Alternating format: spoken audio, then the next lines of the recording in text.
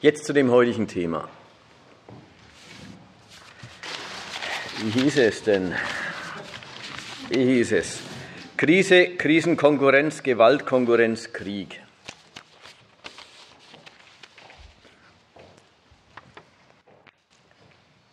Gegenstand soll sein, erstmal eine Sache, die na, ein bisschen ein Gemeinplatz der politischen Bildung ist, nämlich, dass schlimme Krisen des Kapitalismus in Kriegen enden. Das wird für den Zweiten Weltkrieg ganz ausdrücklich gesagt. Ja, die große Weltwirtschaftskrise, der Abwertungswettlauf der Nationen danach, das hätte eben zum Zweiten Weltkrieg geführt. Es geht darum, zu beurteilen, was dran ist und was nicht dran ist an dieser Theorie, sagen wir mal, an dieser Theorie, was dran ist und was nicht dran ist, und das im Lichte der aktuellen Ereignisse sich mal den Zusammenhang vorzunehmen. Denn wenn man den Zusammenhang ganz äußerlich nimmt, scheint er sich im Jahr 2014 richtiggehend zu bestätigen. Die gewaltmäßigen Konfrontationen zwischen Staaten, und zwar gerade zwischen den Großen, nehmen enorm zu. Die Geschichte äh, zwischen Japan und den ganzen anderen äh, ostasiatischen, also Anrainern des ostasiatischen, der, der, des ostchinesischen Meeres und China sind bis an die Grenze von Kanonenbootpolitik und äh, die fahren mit, mit, mit äh, Kriegsschiffen auf. Geht es um diese Senkaku-Inseln und um andere Inseln.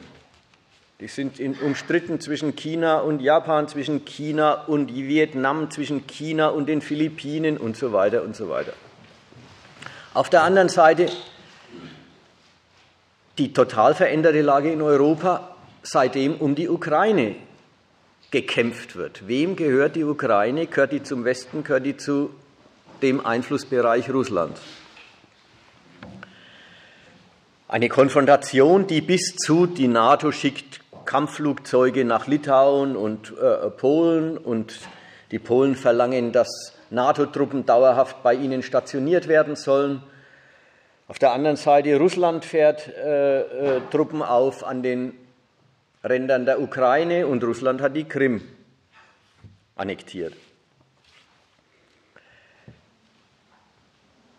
Die Finanzkrise, die jetzt ins siebte Jahr geht, mündet, wenn man so will, aber ob sie es ist, die mündet, ist ja jetzt gerade das, was in Rede stehen soll, die Frage, führt zu, jedenfalls wird zeitlich äh, nachgefolgt oder es findet eine zeitliche Nachfolge statt mit einer, einer auffälligen Gewaltkonfrontation der großen Mächte. Wenn man sich jetzt umschaut, was für Erklärungen dafür so kursieren, für den Zusammenhang, muss man sagen, die sind alle ziemlich schlecht. Es gibt eigentlich, mir sind drei geläufig. Und jede der drei Erklärungen dementiert eigentlich den politischen Charakter von Krieg, den politischen Charakter der Gewalt zwischen Staaten. Jede dieser Erklärungen, zum Teil ist es wie eine Verschwörungstheorie, zum Teil ist es einfach äh, albern, aber alle haben eins das gemein, dass sie einen Grund in der Logik des Staates eigentlich für, den, für die Gewalt und die Gewaltkonfrontation nicht finden. Die erste dieser Erläuterungen ist die ganz äh, brutale, die sagt, in der Krise, wenn nichts geht, wenn die Arbeitslosigkeit hoch ist und die Menschen verzweifelt sind, dann lenken die Staaten mit Krieg vom inneren Nichtfunktionieren ab. Ja, dann gibt es politische Kräfte, die, die wollen ablenken vom Nichtfunktionieren, von dem, dass eben der Staat daheim nicht hinkriegt, was er äh, für seine Aufgabe hält und erklärt und haben will,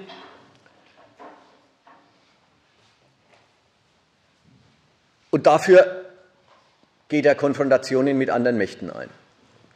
Das ist insofern sehr brutal, als einfach der, die Meinung tatsächlich, also wer die vertritt, hat sie, offenbar jemanden einleuchtet, dass Staaten Krieg bloß wegen äh, quasi einer guten Stimmung daheim machen. Es stimmt's ja, dass nationalistische Bürger sich von außenpolitischen Konfrontationen durchaus von ihren persönlichen Nöten ablenken lassen.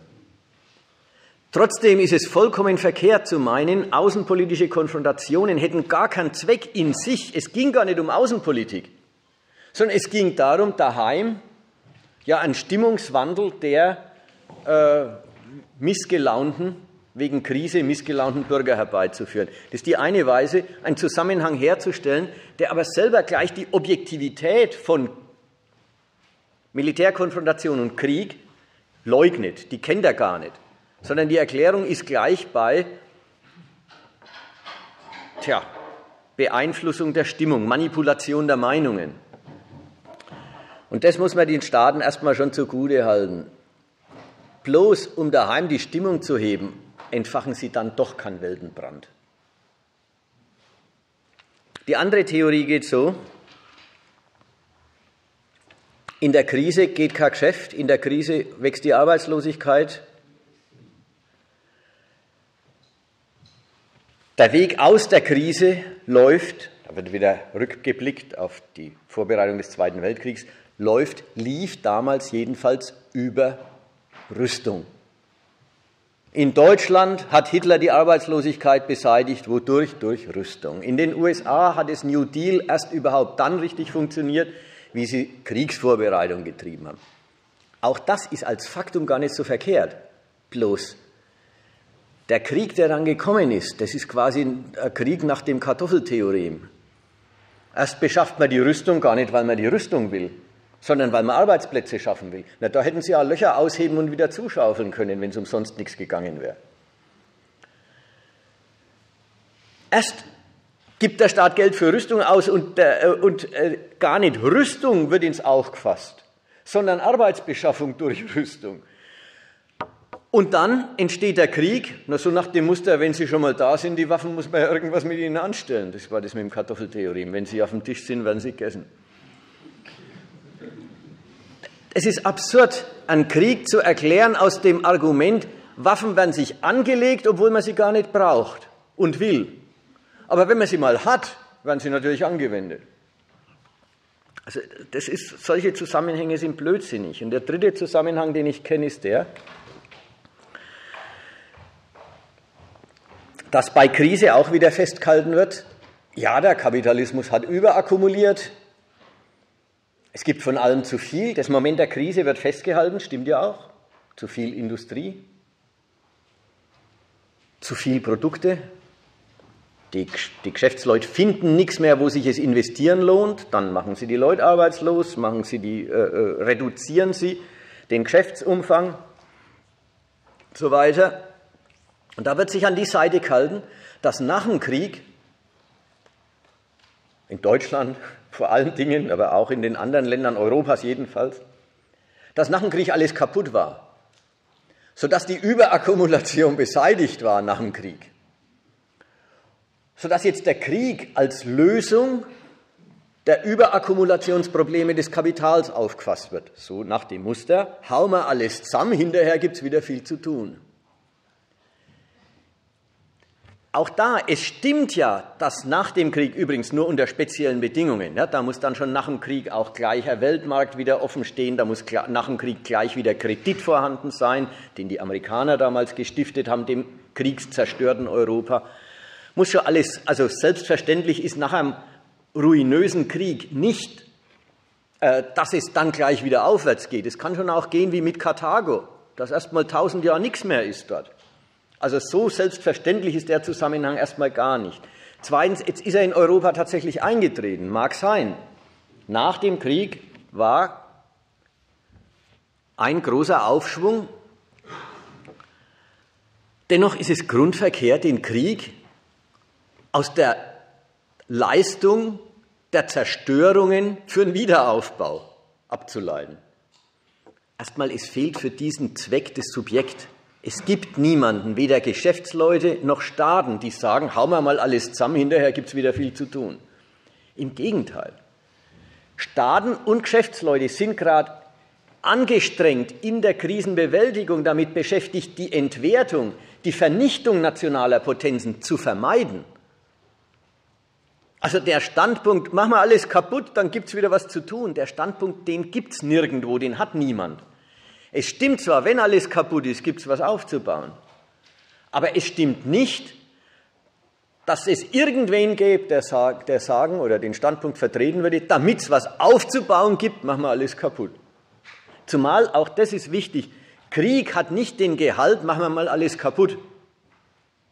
Krieg hat vor allen Dingen den Gehalt, machen wir beim Feind alles kaputt, worauf dessen Macht gründet und bei daheim möglichst gar nichts. Es war ja nicht das angestrebte Kriegsergebnis, dass Deutschland in Schutt und Asche liegt. Also gut, es sind jetzt die drei Varianten, die mir bekannt sind, wie Krieg und Krise zusammengeschlossen werden. Wie gesagt wird, ja, Krisen führen zu oder werden nachgefolgt von Kriegen. Dass die Theorien so abseitig ausfallen, ist nicht ganz zufällig, denn so offensichtlich ist der Zusammenhang, den man da als ein, als ein Gesetz kennen will, zu kennen meint, so offensichtlich ist der Zusammenhang ja auch wieder nicht. Man muss erst mal gelten lassen, Krise heißt, die privaten Geschäfte im Land gehen schlecht. Unternehmer finden wenig Geschäftsgelegenheiten, investieren nicht. Arbeitskräfte werden nicht angestellt, sind arbeitslos. Wieso überhaupt Staaten deswegen aneinander geraten sollen, ist das erste Rätsel.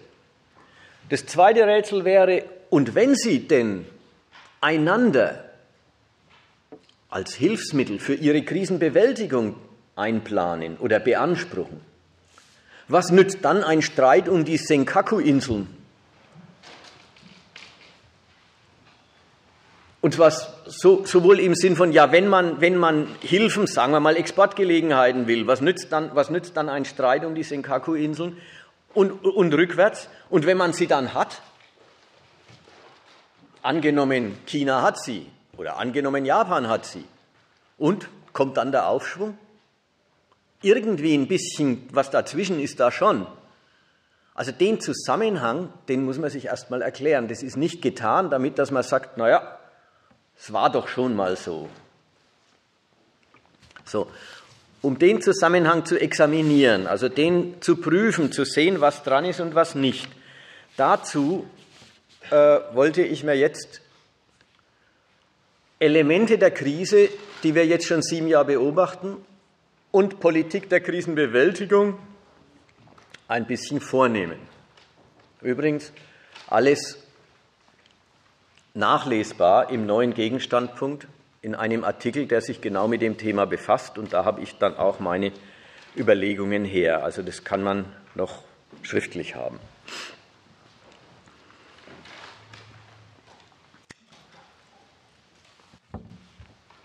Erstens die Krise und die Antwort der Staaten. Da kann man ruhig sagen, der Staaten, weil auf ganz grob gesagt haben die Amerikaner, die Europäer und die Japaner durchaus dasselbe gemacht. Die Krise ist ausgebrochen und war erstmal wesentlich eine Krise des Finanzsystems, der, des Kreditsektors. Banken waren nach kurzem hat sich herausgestellt, nicht nur mit ABS-Papieren, die dann wertlos geworden sind, äh, in, in ABS-Papieren engagiert, die dann wertlos geworden sind, sondern über die Kettenreaktion, dass in dem Sektor eben die Schulden des einen das Vermögen der anderen sind. Hat sich darüber, dass die Schulden mancher wertlos waren, herausgestellt, dass die anderen auch nichts anderes besitzen als die Schulden der einen. Und dass darüber im Grunde global das Bankensystem pleite war. Mehr oder weniger alle großen Banken waren bankrott. Das haben die Staaten und die Konsequenzen dessen Zusammenbruch des Kredits, Zusammenbruch des ganzen Geldwesens, das über die Banken läuft, Vernichtung aller Ersparnisse, aller in Form von Bankkonten gehaltenen Geldreserven der Gesellschaft. Das haben die Staaten nicht zugelassen und haben über Nacht durch politische Beschlüsse Billionen neue Schulden mit staatlichen Garantien geschaffen, geschöpft und damit das Bankensystem abgesichert, mit neuem Geld ausgestattet, mit Garantien ausgestattet, sodass das Bankensystem, wie schlecht auch immer, seinen Geschäftsverkehr überhaupt aufrechterhalten konnte.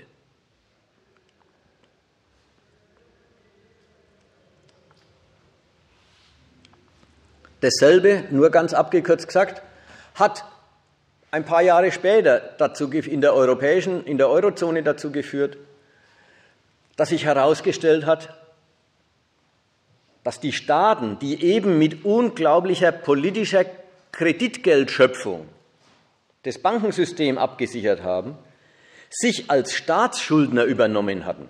Manche hat es erwischt, die waren überhaupt in dem Bankensystem, in dem Bankcrash gar nicht engagiert, aber haben, weil auf einmal Misstrauen in die Staatsschulden entstanden sind, die ja dafür für die Bankenrettung massiv vermehrt worden sind, haben Staaten in der Eurozone auf einmal allen Kredit verloren. Und auch da ist der Zusammenbruch nicht zugelassen worden. Wodurch? Durch den Kredit der Staaten, die noch Kredit hatten. Speziell in der Eurozone Deutschland. Was haben sie gemacht? Sie haben über Staatsschulden und über die Europäische Zentralbank unglaublich viel Kredit geschöpft. Und das heißt Kredit aus politischen Gründen geschöpft und nicht aus ökonomischen. Nicht Kredit, der ein zusätzliches kapitalistisches Geschäft finanziert, damit zusätzliches kapitalistisches Wachstum anleiert und gerechtfertigt wird durch die Geschäftsaussicht dieses zusätzlichen Wachstums, welches bei Gelegenheit ja auch zusätzliche Gewinne produzieren und damit die Zinsen für die antizipierte Zahlungsfähigkeit, die, der Kredit eben vorwegnimmt, äh, mit Zinsen diese antizipierte Zahlungsfähigkeit rechtfertigen sollte. Das ist der normale Gang des Geschäfts. Kredit wird geschöpft für Geschäfte, und die Geschäfte mit ihrem Erfolg müssen den Kredit rechtfertigen. Die Kreditschöpfung, von der wir jetzt reden, ist eine ganz andere. Da haben Staaten in unglaublichem Umfang Kredit geschöpft, und zwar alle. Nicht um Geschäfte vorwegzunehmen und damit in Gang zu setzen und damit ein zusätzliches Lohnen, das dann die Zinsen zahlt, auf den Weg zu bringen, sondern um ausfallendes Geschäft, um misslungenes Geschäft zu ersetzen.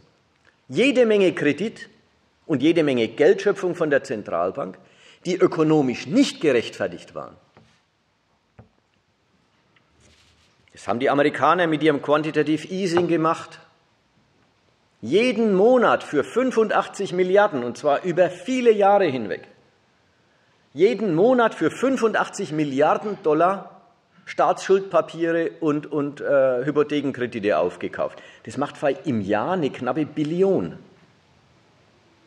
Die Europäische Zentralbank eben in der Form der Garantie aller europäischen Staatsschulden in der Weise, dass die Schulden als Sicherheiten, die die Banken, wenn sie Geld von der Zentralbank haben wollen, und dann müssen sie der Zentralbank funktionierende Kreditgeschäfte als die andere Seite des Bargelds, das die Zentralbank ihnen rausrückt, zuweisen und die Zentralbank hat beschlossen, alle europäischen Staatsschulden, die ja nun anerkanntermaßen nichts mehr wert waren, die griechischen, die portugiesischen, die irischen und so weiter, alle diese Staatsschulden als Sicherheiten zu akzeptieren, damit natürlich diesen Schulden einen Markt zu schaffen. Denn wenn, dies, wenn, man sie bei der Zentralbank einreichen kann, dann kann man sie auch kaufen. Also den, den Staatsschulden, einen, die ja keinen Markt mehr hatten, weil niemand mehr griechische Schulden kaufen wollte. Denen einen Markt verschaffen und damit einerseits Geld in die Landschaft setzen, damit die Banken an Bargeld kommen und andererseits die wertlosen Staatsschulden wieder geschäftsfähig machen. Beides hat diese EZB durch den Beschluss, wir akzeptieren alle schlechten europäischen Staatsschulden als die Sicherheiten, die die Banken einreichen müssen, wenn sie Geld wollen. Diese doppelte Wirkung hat die Zentralbank mit diesem Verfahren sichergestellt. Dass das geht, ist schon mal ein Ausweis eines wirklich besonderen Status dieser Gelder. Man muss sich klar machen, die Ukraine oder Argentinien oder ich weiß nicht, die Philippinen vielleicht, die können sowas nicht. Das können schon nur die Gelder von Nationen, deren Geld überall in der Welt gebraucht wird, deren Geld deswegen, weil es im Prinzip die Garantie ist, dass man damit zuverlässig kapitalistische Geschäfte machen kann. Dass wer dieses Geld besitzt, eigentlich das nötige und richtige Mittel besitzt, fast schon die Garantie, dass man daraus damit aus Geld mehr Geld machen kann. Diese besondere Rolle ist es, die diese Währungen überhaupt instand setzt, dass Staaten mit ihnen politischen Kredit schaffen können, auch dann und gerade dagegen, dass die ökonomische Benutzung des Geldes gerade zu wünschen übrig lässt.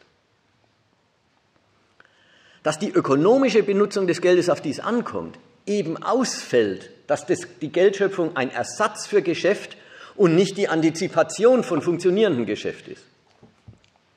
Also diese besondere Rolle des Geldes haben sie damit benutzt und beansprucht.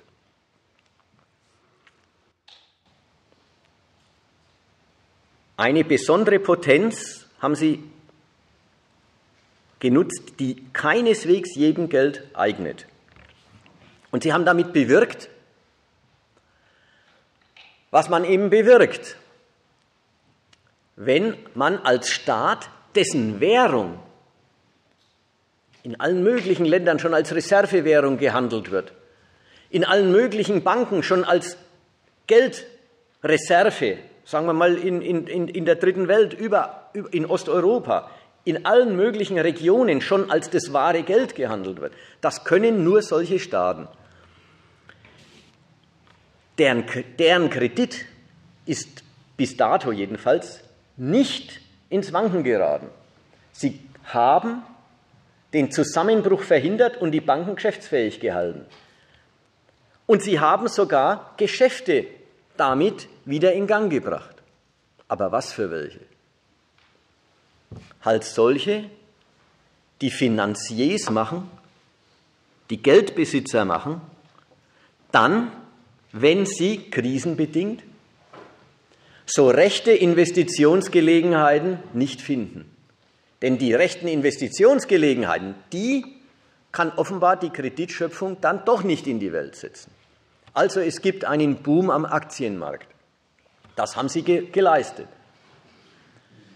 Was, was ist die Bedeutung davon? Ja, es gibt endlos viel billiges Geld. Das war ja, das war ja, die, Weise, äh, das war ja die Leistung dieser Kreditgeldschöpfung. Es gibt endlos viel billiges Geld. Naja, da gibt es welche, die leihen es und stecken es in den Aktienmarkt. Da kann man Geld mit verdienen. Aber alle sagen, ob das nicht die nächste Blase ist. Denn es, äh, die steigenden Kurse am Aktienmarkt sind gar nicht Ausdruck steigender Geschäfte der Firmen, auf die die Aktien lauten, sondern sie sind nur Produkt der gewachsenen Nachfrage nach diesen Papieren. Ganz analog die Debatte über die Immobilienpreise steigen gewaltig in Deutschland und weltweit. Einerseits toll, klar, Jetzt kann man mit Immobilien wieder Geld verdienen. Andererseits ist das nicht eine Immobilienblase, denn die Nachfrage nach Wohnraum, die Nachfrage nach Gewerbeflächen ist ja gar nicht so gestiegen wie die Nachfrage nach dem Besitz von solchen Dingern. Und der Besitz, die Nachfrage nach dem Besitz ist gestiegen, weil sie als Vermögenswerte mit Wertsteigerungsperspektive gehandelt worden sind.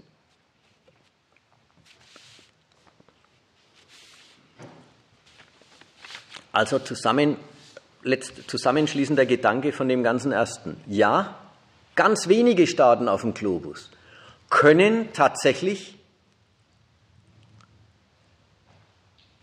den fortschreitenden Kollaps des Kreditsystems und damit der Wirtschaft in der Krise stoppen, indem sie wie verrückt Geld schöpfen. Da ist auch schon klar, das können nicht alle Staaten, das ist auch schon ein erster Zusammenschluss von Macht und Gewalt und Geld. Es sind die Staaten, die gefestigte Mächte in der, in, in, in der Weltwirtschaft sind. Es sind die Staaten, die ihr Peripherie im Griff haben, deren Geld die Spekulantengemeinde zutraut, wert zu sein, auch wenn es mal zeitweise nicht Ausdruck von funktionierendem Geschäft ist.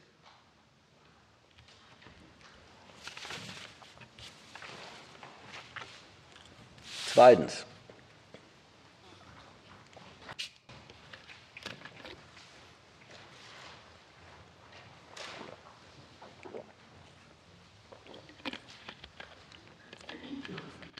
mit ihrer gewaltigen politischen Schöpfung von Geld und Kredit.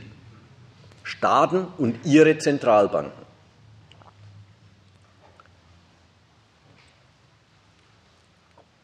Gefährden sie das Vertrauen in ihre Währung. Ja, sie benutzen erstmal das außerordentliche Vertrauen, das ihre Währung genießt.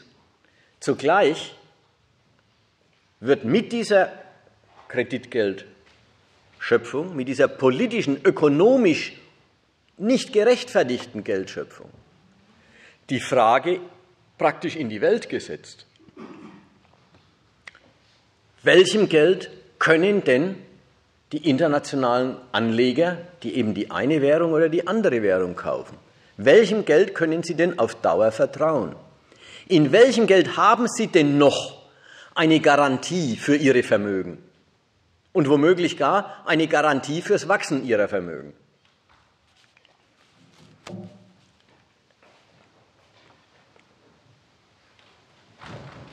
Die großen Währungen, und ich betrachte jetzt immer bloß den Euro und den Dollar im Vergleich, ich beschränke mich auf die beiden und äh, wer Lust hat und sich einlesen will, kann die Sache mit Japan und Großbritannien als die, als die beiden Unterfälle davon oder Spezialfälle nachlesen in den Zeitungen, der Stoff ist nicht so grundsätzlich anders.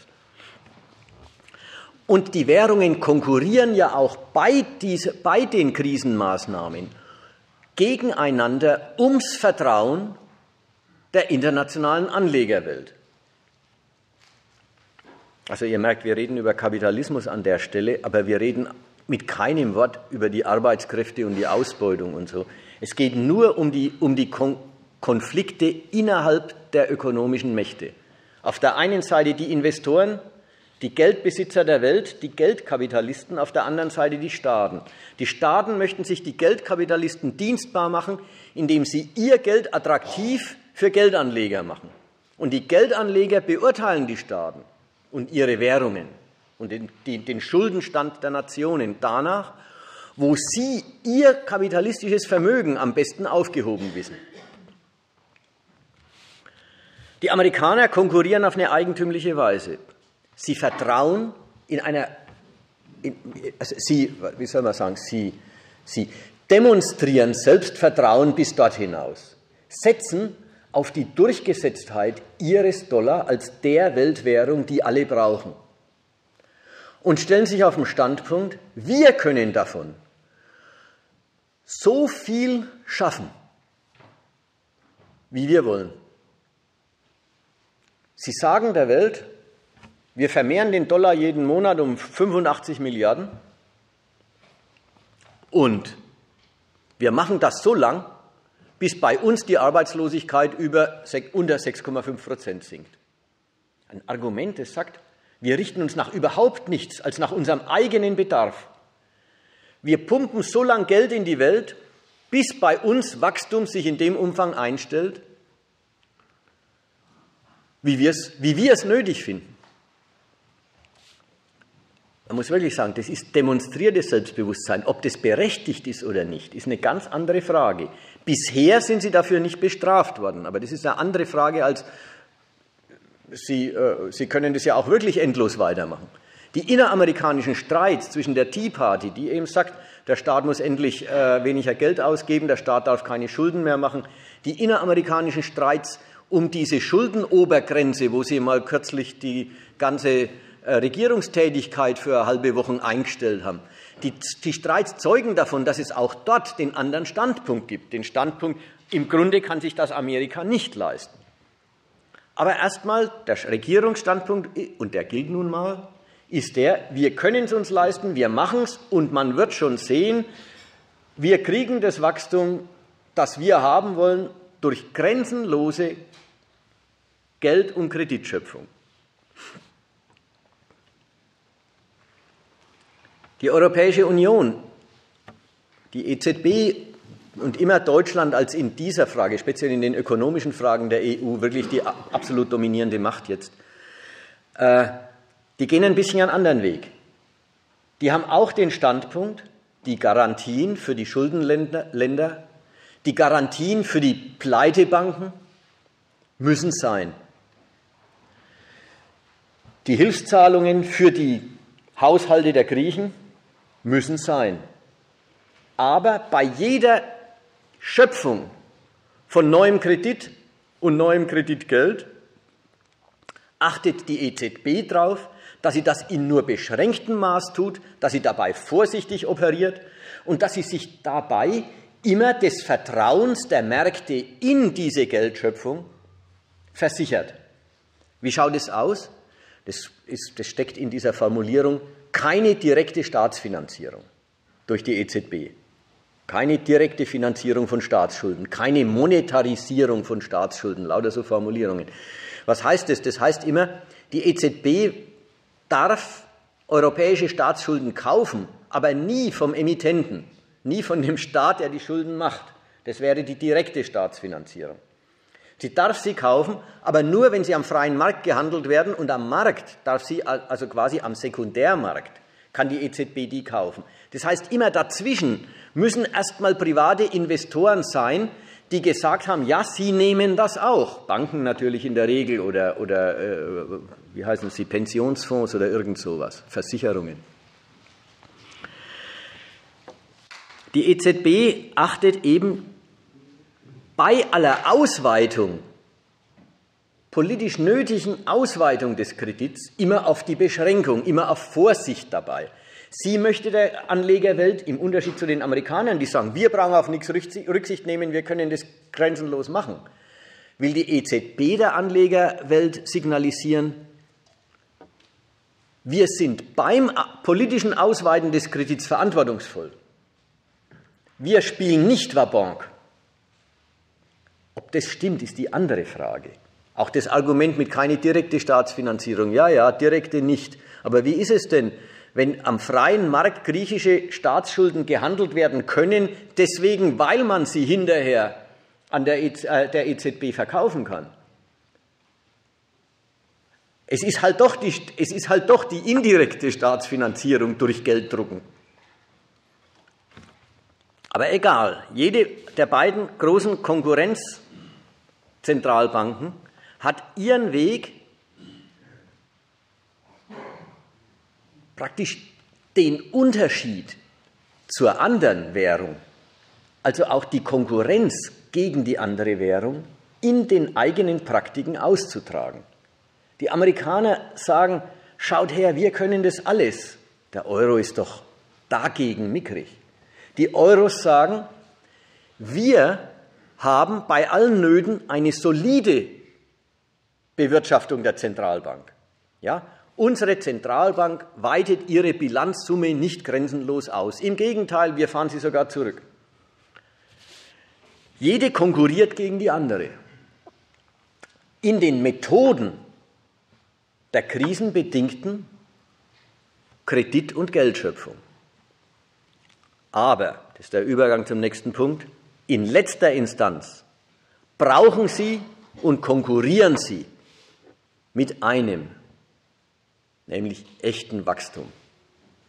Sie brauchen echtes Wachstum, das ihrer Geldschöpfung dann doch irgendwie nachträglich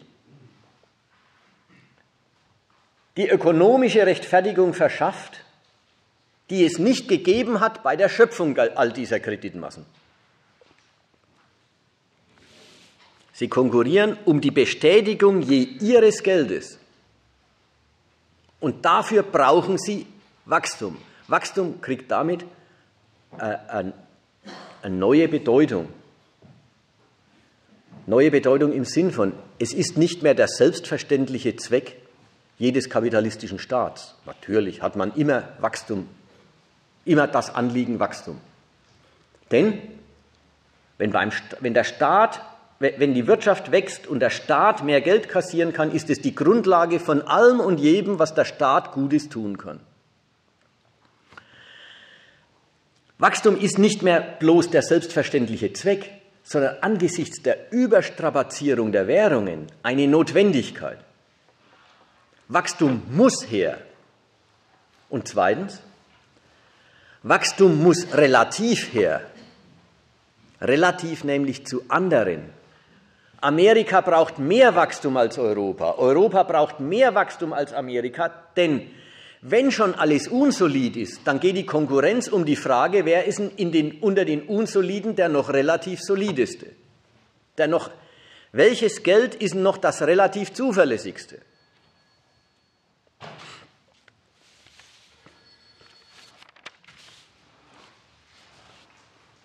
Da würde ich was sagen dazu mal. Ja, ja, bitte. Das lässt sich eigentlich ganz einfach erklären, warum die USA anders das machen mit ihrem Geld als die Europäer mit ihrem Euro. Letztendlich steckt hinter dem Geld nichts anderes wie Gewalt. Und hinter US-Dollar US steckt eben Plutonium, was die Europäer in dieser Form nicht haben. Und das Kapital verlässt hier einfach darauf, dass die Amerikaner in letzter Instanz die Welt wieder so hinbringen, und sei es mit Militär, sei es mit Gewalt, das erleben wir derzeit in der Ukraine und im Irak überall, dass es im Endeffekt wieder passt, dass im Endeffekt wieder das Wachstum zustande kommt, ohne das der Kapitalismus halt aber nicht geht. Also so sehe ich das, ganz einfach. Ja, es ist die Frage, ob es, ja, ist die Frage, ob es ein bisschen zu einfach ist. Äh, über den Punkt, den du ansprichst, reden wir ja gerade, ne? oder im Verlauf des Abends noch mehr, aber das, das ist schon der Punkt. Nur, nimm es doch mal so, warum soll denn eigentlich ein Geschäftsmann sagen, ich stecke mein Geld in den US-Dollar, weil die Amis haben die größten Bomben. Wenn sie, wenn, wenn sie dem Geld keine Verwertung verschaffen können, dann muss doch der Geschäftsmann, der, der Geldbesitzer sagen, naja gut, die größten Bomben haben sie schon, aber äh, wo ist denn eigentlich das Plus, auf das es mir ankommt? Wenn man Welt Aussicht stellt, wie es der Hitler auch gemacht hat, der hat dazu mal die Geschäftswelt hingehalten mit diesen MIBA-Wechseln zum Beispiel. Das heißt also, wenn wir den NC haben auf Deutsch gesagt, also wenn wir die Weltherrschaft haben, dann können wir wieder genug verdienen. Das ist, immer, das ist alles immer Spekulation auf die Zukunft. Und die USA, die glauben halt daran, dass die USA in letzter Instanz äh, sich durchsetzen in der Welt. Gegen Russland, gegen China, auch gegen Europa. Und darauf spekulieren die und nichts anderes die großen Bankhäuser, die quasi das Kapital letztendlich haben, halt halten, verwalten für die Kapitalanleger. Denn der Kapitalanleger, die denken sicherlich nicht so weit. Die bringen halt ihr Geld, was weiß ich, zur American Bank, zur Goldman Sachs oder sonst wohin. Aber die, die darüber entscheiden, über die Gelder, wo sie investieren und so weiter, ja, die sehen das so. Das erschreckt auf die Zukunft. Und die USA mit ihrer militärischen Gewalt, die schaffen das irgendwie wieder, die Welt so hinzubringen, dass das wieder ein florierendes Geschäft. Indem sie die Konkurrenten beseitigen, verdrängen, sei es mit Gewalt. Zum Beispiel der Streit mit China über die Öffnung des Finanzwesens in China, ja, das ist ja nichts anderes. Das ist im Endeffekt eine Gewaltfrage, ob die Chinesen tatsächlich die Banken ihr Finanzwesen für die, für, die USA oder für den Westen öffnen und damit neue äh, Sphären der Akkumulation eröffnen. Ja, das sind ja diese Fragen, um die es geht. Dann wäre ein Geschäft da, halt auf Kosten der anderen. Ja, da bist du jetzt schon sehr nah an dem, was ich auch sagen wollte. Oder will, noch vor mir habe eigentlich. Also das, das finde ich alles okay. wichtig war man noch bloß dran denken, Gewalt und Geld ist nicht gleich dasselbe. So schnell ist es auch nicht klar, dass ein Anleger sagt, er setzt auf den Staat mit den größten Bomben. Denk mal auf Russland, das ist der Staat mit den zweitgrößten Bomben. Setzen sehr wenig.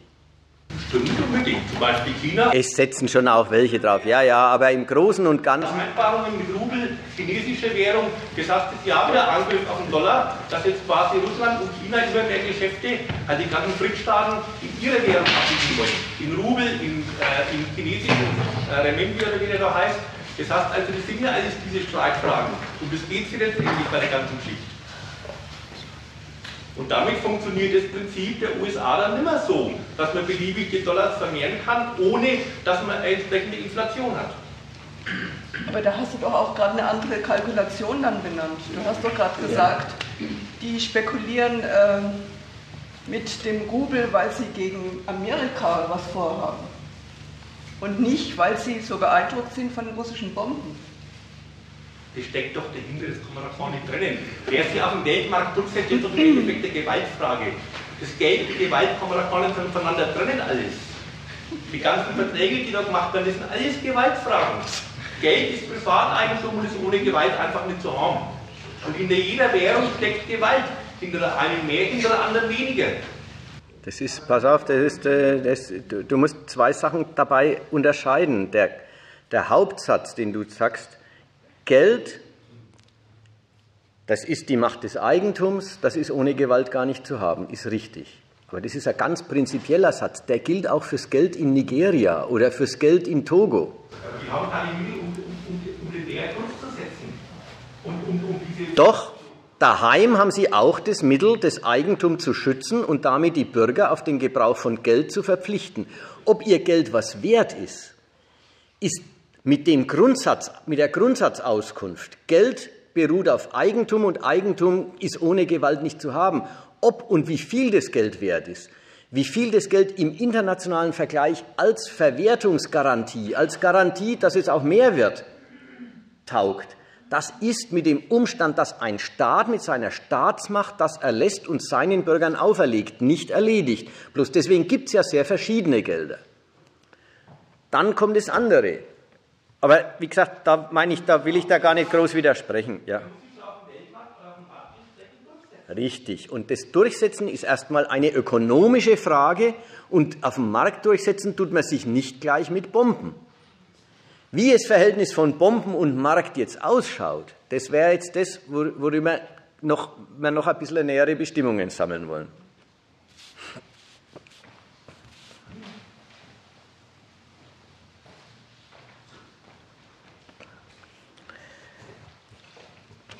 Also ich will ja gerade den äh, der, der Hauptgeschichte, das ist ja auch mein Thema jetzt, ja, wie, wie, wie stellt, hängt denn Krisenbewältigung und die außenpolitische Durchsetzung der Staatsmacht, wie hängt denn das zusammen? Das ist das Thema. Insofern, da kommen wir jetzt dann hin. Also wo war ich stehen geblieben? Ich war stehen geblieben, die äh, Europäer und die Amerikaner äh, sind sich durchaus klar darüber, dass wenn sie das Geld so krisenbedingt ziemlich schrankenlos vermehren, dass sie die Konkurrenz der Währungen anschüren, anheizen und damit die Frage provozieren, welches Geld verdient denn noch Vertrauen? Und sie haben schon bei der Geldemission selber ihre Arten, ihre Methoden, Vertrauen, ja, Gründe für Vertrauen zu erzeugen. In letzter Instanz, da war ich jetzt stehen geblieben, hängt aber alles dann doch dran, ob sie mit ihrer Geldemission Wachstum erzeugen können. Also ob nachträglich die ökonomisch unberechtigte Vervielfältigung von Geld und Kredit durch Wachstum ins Recht gesetzt wird, wenigstens relativ, wenigstens besser als beim Konkurrenten. Da habe ich jetzt zwei, zwei Varianten, wenn ich, wenn ich an die EU denke und an die USA denke. Die haben verschiedene Wege, den Standpunkt, Wachstum muss wieder her, praktisch werden zu lassen. In der EU ist es, und das ist jetzt nicht das erste Mal, dass ich in dem Rahmen oder wir in dem Rahmen über den Punkt reden. In der EU ist der Standpunkt, Wachstum muss wieder her. Eine Geschichte, die wird, da, da werden die Bedingungen davon sehr von Deutschland diktiert und die sind sehr hart. Die haben nämlich den Gehalt, die Partnerstaaten müssen ihren Haushalt ausgleichen. Ja, der ewige Streit um die Maastricht-Kriterien, auch heute noch, jetzt gegen Frankreich, aber die ganze Zeit schon mit Griechenland und den, und den hilfsbedürftigen Pleitestaaten. Sie kriegen praktisch ihren Staatshaushalt von außen geführt, von der Troika. Die sagt, wofür noch Geld vorhanden ist, wofür kein Geld mehr vorhanden ist, weil und damit die Staaten mit ihrer, mit ihrer Verschuldung zurück, ihre Verschuldung zurückfahren und ausgeglichene Haushalte erzeugen. Ausgeglichene Haushalte haben sind eine interessante Geschichte. Man kennt das Wort, jeder hat es mal gelesen. Ausgeglichener Haushalt, was ist denn die Bedeutung? Die Bedeutung heißt, in dem Land findet so viel kapitalistisch lohnendes Geschäft statt, dass das Geschäft die Unkosten, die der Staat isst, auch trägt. Das ist ein ausgeglichener Haushalt. Der Haushalt heißt, in dem Land kommt so viel kapitalistischer Reichtum zustande, dass das Geld, was der Staat für sich braucht, aus dem Reichtum abzuzweigen geht. Und nicht ausgeglichene Staatshaushalte haben immer den Charakter, eigentlich braucht der Staat mehr Geld für seine Aufgaben, als der Kapitalismus des Landes abwirft. So, und gegenüber den Mitgliedsländern, die jetzt in diese äh, in diese äh, Krisenlage und in diese Staatsschuldenkrise geraten sind und dann keinen Kredit mehr genossen haben. Gegenüber diesen Ländern setzt die, setzt die Bundesrepublik den Standpunkt durch, übrigens mit dem Vorbild, schaut, bei uns geht es doch auch. Ja, wenn jetzt lest er doch täglich dieses, wir haben einen ausgeglichenen Haushalt. Bei uns, wir machen 2015 keinen Cent Schulden mehr. Bei uns ist also Wachstum und Staatsunkost im besten Verhältnis. Also sind unsere Schulden auch alle gute Schulden. Auswärts ist es nicht so. Und die Staaten werden unter den Zwang gesetzt. Ihr kriegt, ihr werdet geschäftsfähig fähig gehalten. Ihr kriegt das Minimum an Zugang zu neuem Kredit, das die Europäer euch zugestehen unter der Bedingung, dass ihr radikal spart und euren Staat auf das Niveau zurückführt, wo euer Gesellschaft kapitalistische Erträge erzeugt. Richtig, den Staat zurückführen, beschneiden, den Staat kleiner machen, dem Staat Ambitionen abschminken, dass er in Wachstum investieren könnte. Er muss sich auf das Niveau dessen, was im Land als Geschäft geht, zurückschrumpfen. Wie soll das überhaupt gehen? Erstens, es geht wirklich über Schrumpfen. Da kommt weniger zustande. In Italien, in, in, in der ganzen Südschiene ist seit fünf Jahren Rezession. Griechenland hat, ich weiß nicht, weiß jemand die Zahl? Steht da, wenn, wenn ein Land fünf Jahre lang immer sechs Prozent des Bruttosozialprodukts verliert, dann ist es hinterher feier Drittel kleiner, ökonomisch gesehen. Also ich weiß aber nicht, wie viel sie im Ergebnis verloren haben, 25 Prozent oder so, also enorme, enorme äh, Quantitäten. Die werden gezwungen, sich darauf zurückzuschrumpfen. Und sie kriegen gesagt, gewinnt eure Konkurrenzfähigkeit zurück. Und das einzige Instrument, Geld kriegen sie ja nicht, um Gentechnik zu entwickeln oder die, die Universitäten auf Vordermann zu bringen oder so. das einzige Mittel, um sich als Nation konkurrenzfähig zu machen, ist die Armut ihrer Bevölkerungen. Das erzwingt das solide Deutschland von den Partnern. Schrumpft euch gesund und werdet konkurrenzfähig dadurch, dass bei euch der Lohn sinkt, dass die Unkosten des Lebens der Menschen geringer werden.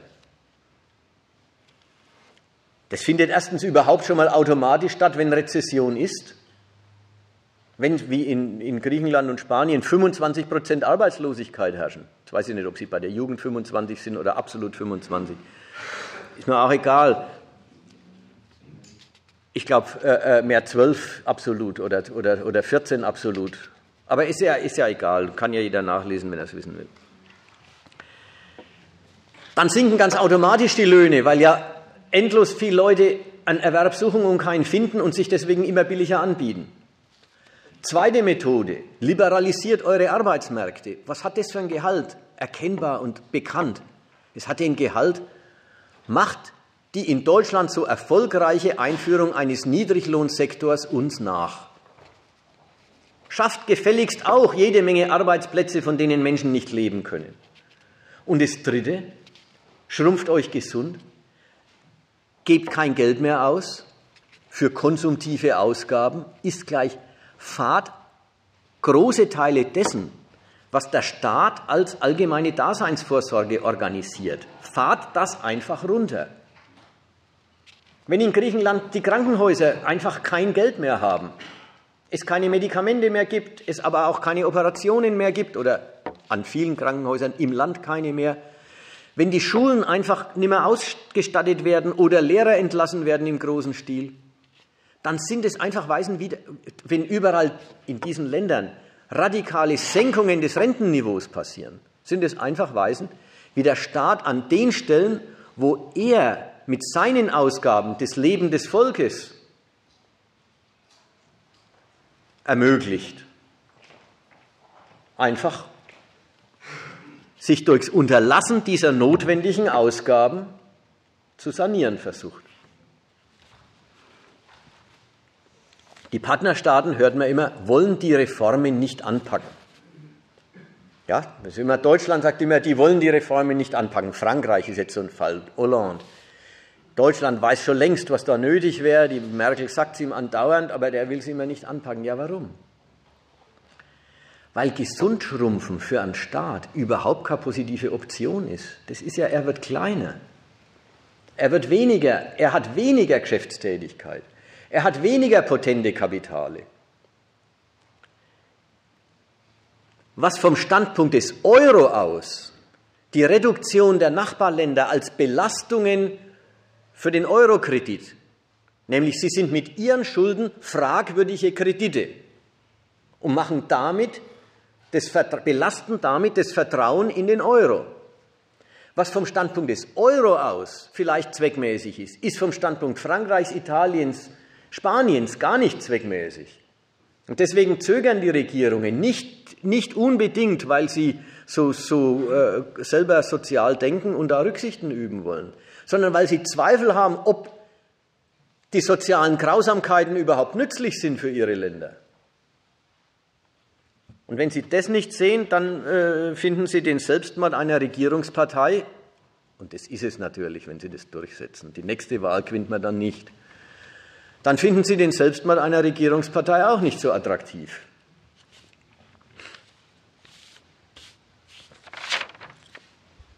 Schauen wir auf die andere Methode der, der Konkurrenz. Die Zusammenfassung kommt dann hinterher. Die Amerikaner. Die Amerikaner kämpfen mit neuen Initiativen zu neuen Handelsverträgen um eine Wiederherstellung eines für Amerika garantiert nützlichen Weltmarkts. Jetzt ist das Eigentümliche ja, der Weltmarkt, wie er jetzt existiert, ist ohnehin das Werk Amerikas. Es ist doch die amerikanische äh, Weltordnung nach dem Zweiten Weltkrieg. Freihandel, GATT, Meistbegünstigungsklausel. Lauter Handels- Liberalisierungen, die dem amerikanischen Kapital die Welt erschlossen haben und sicherstellen sollten und sicher über lange Zeit auch sichergestellt haben, dass Amerika der größte Nutznießer des Welthandels oder des ganzen kapitalistischen Geschäfts auf dem ganzen Weltmarkt ist. Dieses Verhältnis reicht ihnen in der Krise nicht mehr. Sie sind der Meinung, sie brauchen neue Regeln im Welthandel, weil die alten den eindeutigen, einseitigen, garantierten amerikanischen Vorteil nicht gewährleisten. nicht mehr gewährleisten vielleicht.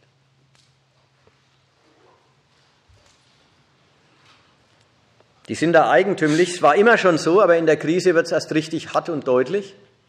Die Amerikaner stehen auf dem Standpunkt, sie wollen freie Konkurrenz auf der Welt. Aber wenn die nicht eindeutig Amerika am meisten nützt,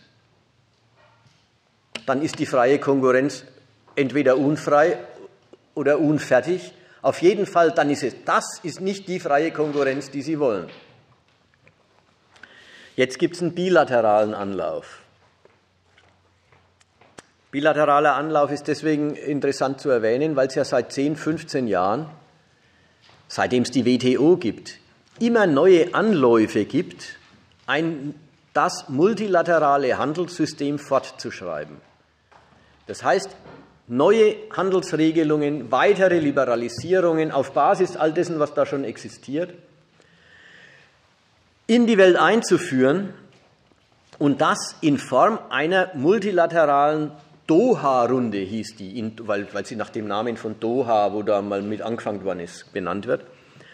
Äh, in einer multilateralen Runde, wo alle Mitgliedsländer der WTO mit dabei sind und mit abstimmen und sich auf neue Regeln einigen sollen, immer mit dem Prinzip, wo sie weniger nationale Vorbehalte gegen den Handel aufrecht, aufrecht erhalten können aber Regeln, von denen Sie sich auch versprechen, dass Sie mit Ihrer Nation gut fahren oder wenigstens eine Chance haben, sich zu stärken national, weil, weil Sie dafür einhandeln, dass auch andere Länder Handelsbeschränkungen abbauen. In dieser Doha-Runde haben wir 15 Jahre lang um alles Mögliche gerungen und kein Ergebnis erzielt. Im Ergebnis waren die Mitgliedsländer dieser Runde, die Mitgliedsländer der WTO, nicht bereit, selber den Liberalisierungspreis, also die Aufgabe von nationalen Schutzmitteln und Vorbehalten ihrer Ökonomie aufzugeben, den Preis zu zahlen für das, was sie dafür einhandeln können, nämlich die Aufgabe von Schutzmechanismen und Vorbehalten und Zöllen der anderen Staaten. Jetzt macht, die, macht Amerika die Sache bilateral. Schon das ist, ist, ist, ist eine erkennbar neue Sache, die einen eindeutigen Inhalt hat. Man braucht neue Handelsregeln und will neue Handelsregeln und kommt zum Ergebnis, wenn wir auf alle Rücksicht nehmen, kriegen wir die Regeln, die wir haben wollen, nie zustande. Ist also das der Beschluss, neue Handelsregeln auf dem Globus, die die Amerikaner haben wollen und brauchen, gehen nur, und leisten für Amerika nur, was sie leisten sollen, wenn sie eine Rücksichtslosigkeit gegen einen ganzen Teil der Weltmarktteilnehmer einschließen. Rücksichtslosigkeit im Sinn von, es sollen Regeln aufgestellt werden, die sich nicht mehr daran orientieren, dass auch andere Staaten sie als Mittel ihres Fortkommens betrachten können. Die Regeln werden erstmal zum Beispiel in Asien mit lauter von Amerika relativ abhängigen Staaten gemacht. Da haben wir den Zusammenhang von Gewalt und, äh, und Handelsvertrag sehr schön. Mit lauter Staaten, denen Amerika gegen China den Rücken stärkt, im Sinn von, ihr könnt eure nationale Selbstständigkeit und auch eine gewisse nationale Frechheit gegen die große Macht China euch leisten, wenn ihr euch an die Seite Amerikas stellt. Dann aber müsste er mit uns auch Handelsbedingungen ausmachen, die eben Amerikas Wünsche erfüllen. Und das alles nicht mit dem Ziel, China auf ewig draußen zu halten, sondern mit dem Ziel, Handelskonditionen auszumachen, die dann einen großen Handelsraum definieren, von dem China dadurch, dass es da nicht dabei ist, ausgeschlossen ist und ausgeschlossen bliebe, wenn es nicht bereit wäre, sich den Handelsregeln die dann nicht unter Chinas Beteiligung festgelegt worden sind, wenn es nicht bereit ist, sich diesen Handelsregeln, die ausdrücklich gegen China ins Werk gesetzt worden sind, zu unterwerfen. Sie, China würde dann nämlich von dem großen Markt ausgeschlossen. Dasselbe gilt dann für das äh, TTIP zwischen Europa und äh, USA auch. Aber das Grundmuster ist, Die Fortentwicklung des Welthandels findet jetzt statt. Amerika macht mit Staaten, mit denen es der Meinung ist, mit denen komme ich zu dem Ziel, das ich haben will, Regeln aus, um andere Staaten von dieser Geregeltheit, von diesem Markt dann auszuschließen und sie zu zwingen, sich den Marktregeln zu unterwerfen, die ohne ihr Zustimmung und zum Teil ausdrücklich gegen deren nationalen Bedarf ins Werk gesetzt worden sind. Also worum geht es bei dem Zeug, bei den Handelsregeln? Übrigens beim TTIP und bei dem PTT in Asien. Es ist beides mal ungefähr derselbe Stoff. Es ist auch der Stoff, der in der Doha-Runde immer schon auf dem Tisch war. Zollabbau ist dabei das relativ Unwichtigste, weil Zölle gibt es eh kaum mehr. Also Zölle sind, sind nur noch, was ich, niedrige Prozentsätze auf die Handelswerte wo sie es gibt. Manchmal gibt es sowieso gar nicht mehr. Der Streit geht um andere Sachen, um die sogenannten nicht-tarifären Handelshemmnisse. Das sind alle internen Regelungen, die Staaten irgendwann mal aus irgendwelchen Gründen erlassen haben. Gesundheitsvorschriften für Lebensmittel, Zulassungsbedingungen für Medikamente oder die deutschen DIN-Normen. Ja, das hat DIN A-Blatt, DIN A4-Blatt, 23, sowieso Zentimeter lang und sowieso breit ist dass die Stecker so und so sind, dass die Maschinenteile DIN genormt sind. Alles das ursprünglich gar nicht unbedingt erfunden, um Handelshemmnisse zu bewirken. Aber einmal in der Welt ist die Anforderung, in Europa müssen DIN-Normen äh, erfüllt werden. In Europa müssen europäische Zulassungsbedingungen für Arzneimittel eingehalten werden, etc. Einmal in der Welt sind diese Geschichten wirklich Handelshemmnisse und damit kann man immer einen Moment von Protektionismus betreiben, nämlich ausländische Ware, wo es einem nicht passt, fernhalten und Ausländern eben im, auf dem eigenen Markt weniger zu verdienen geben, als die gern verdienen würden. Also die sollen abgebaut werden. Dann geht es, wie schon lange, um den Schutz des geistigen Eigentums. Wen interessiert das? Naja, das interessiert die großen Erfindernationen. Es interessiert die großen technologisch innovativen Nationen. Also die, die die Patente halten. Die USA, Europa ist da sicher auch ein ganz großer dabei. Dann geht es halt dabei immer um Software, die Softwareentwicklung. Äh, äh, auch so ein geistiges Eigentum, das geschützt werden muss. Natürlich als Anhängsel immer Film- und Musikindustrie. Dann geht es um die Öffnung der Märkte für Finanzgeschäfte. Das hast du vorhin schon erwähnt. China und andere äh, Länder sollen ihr Territorium für die Banken anderer Länder öffnen. Und schließlich geht es um das Verbot von Subventionen und die Forderung, Nationen müssten Staatsaufträge international ausschreiben. Ja? Dass der Staat selber ein großer Verbraucher ist, dass der selber viel Wirtschaft ermöglicht dadurch, dass er Geld ausgibt, dass er Schulen baut, dass er Straßen baut, dass er Kasernen baut. Das ist immer ein Moment von nationaler Wirtschaftspolitik, nationaler, natürlich, nationaler Förderung nationaler Champions. Denen verschafft man die Aufträge. Und jetzt ist die Forderung, Staaten sollen gefälligst alle Staatsaufträge nicht mehr national vergeben dürfen, sondern sie sollen unterschreiben, dass sie sie international ausschreiben müssen und dem günstigsten Anbieter den Zuschlag geben müssen. Was ist es alles? Dasselbe gilt für das äh, äh, europäisch-amerikanische Abkommen auch. Es hat alles den Grundgehalt, alle Nationen sollen die politischen Schranken, die sie für den Welthandel aufrichten, um ihn zum Mittel ihrer Nation zu machen. Alle Nationen sollen diese Schranken aufgeben. Amerika gibt seine dafür auch auf. In der Gewissheit, das Land mit dem stärksten Kapital, mit den größten Konzernen, mit den technologisch fortgeschrittensten Firmen, das Land mit der größten Forschungskapazität und Innovationskraft, das gewinnt natürlich die liberalisierte Konkurrenz.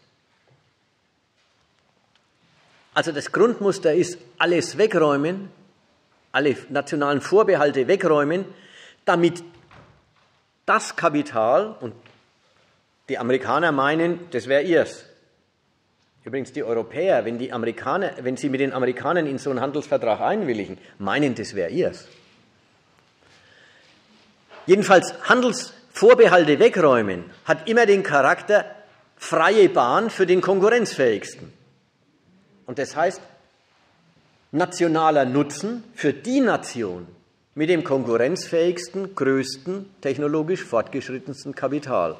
Das wollen die Amerikaner erreichen und dazu wollen sie andere Nationen verpflichten, ihre Vorbehalte, mit denen die Staaten ja sicherstellen wollen, dass auch sie was haben vom Handel, diese Vorbehalte wegzuräumen, aufzugeben und eben die Türen weit aufzumachen für die unbehinderte und radikalisierte Konkurrenz internationaler Firmen. Zusammengefasst ist es alles, und das betrifft jetzt dann das, äh, das, den Vertrag mit Europa genauso wie den mit, äh, mit Asien, ist es alles in diesem interessanten Ansatz, man möchte ein internationales Investitionsschutzabkommen, Amerika möchte es haben, zwischen allen möglichen Partnern äh, abschließen, ein Investitionsschutzabkommen, in dem Privatfirmen gegen die Regierungen ihrer Gastländer klagen dürfen, wenn diese Regierungen durch Gesetzesänderungen in irgendeiner Weise die Geschäftsperspektiven eines Auslandskapitals behindern, beschädigen, beschneiden. Das ist eine lustige Geschichte, weil es hat eigentlich den Grundcharakter, die Staaten sollen unterschreiben.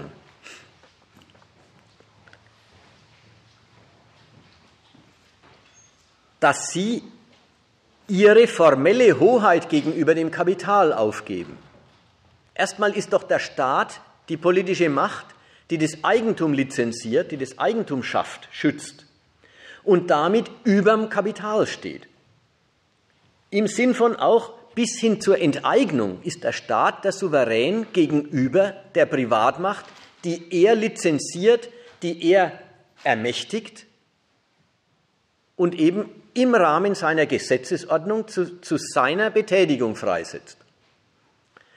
Und dieses Verhältnis soll formell in diesem Investitionsschutzabkommen umgekehrt werden. Staaten müssen sich vor den Rechten internationalen Kapitals rechtfertigen. Sie müssen aufgeben, dass sie die Hoheit über das Kapital haben und müssen unterschreiben oder sollen unterschreiben, sollen sich ja selber frei, aus freien Stücken erstmal dafür interessieren. Sie sollen sich zum Akteur dessen machen, dass sie sich vor einem internationalen Gremium, irgendeinem Schiedsgericht in internationalen, davor recht für ihre Gesetzgebung rechtfertigen müssen, wenn sie irgendeiner Firma nicht passen.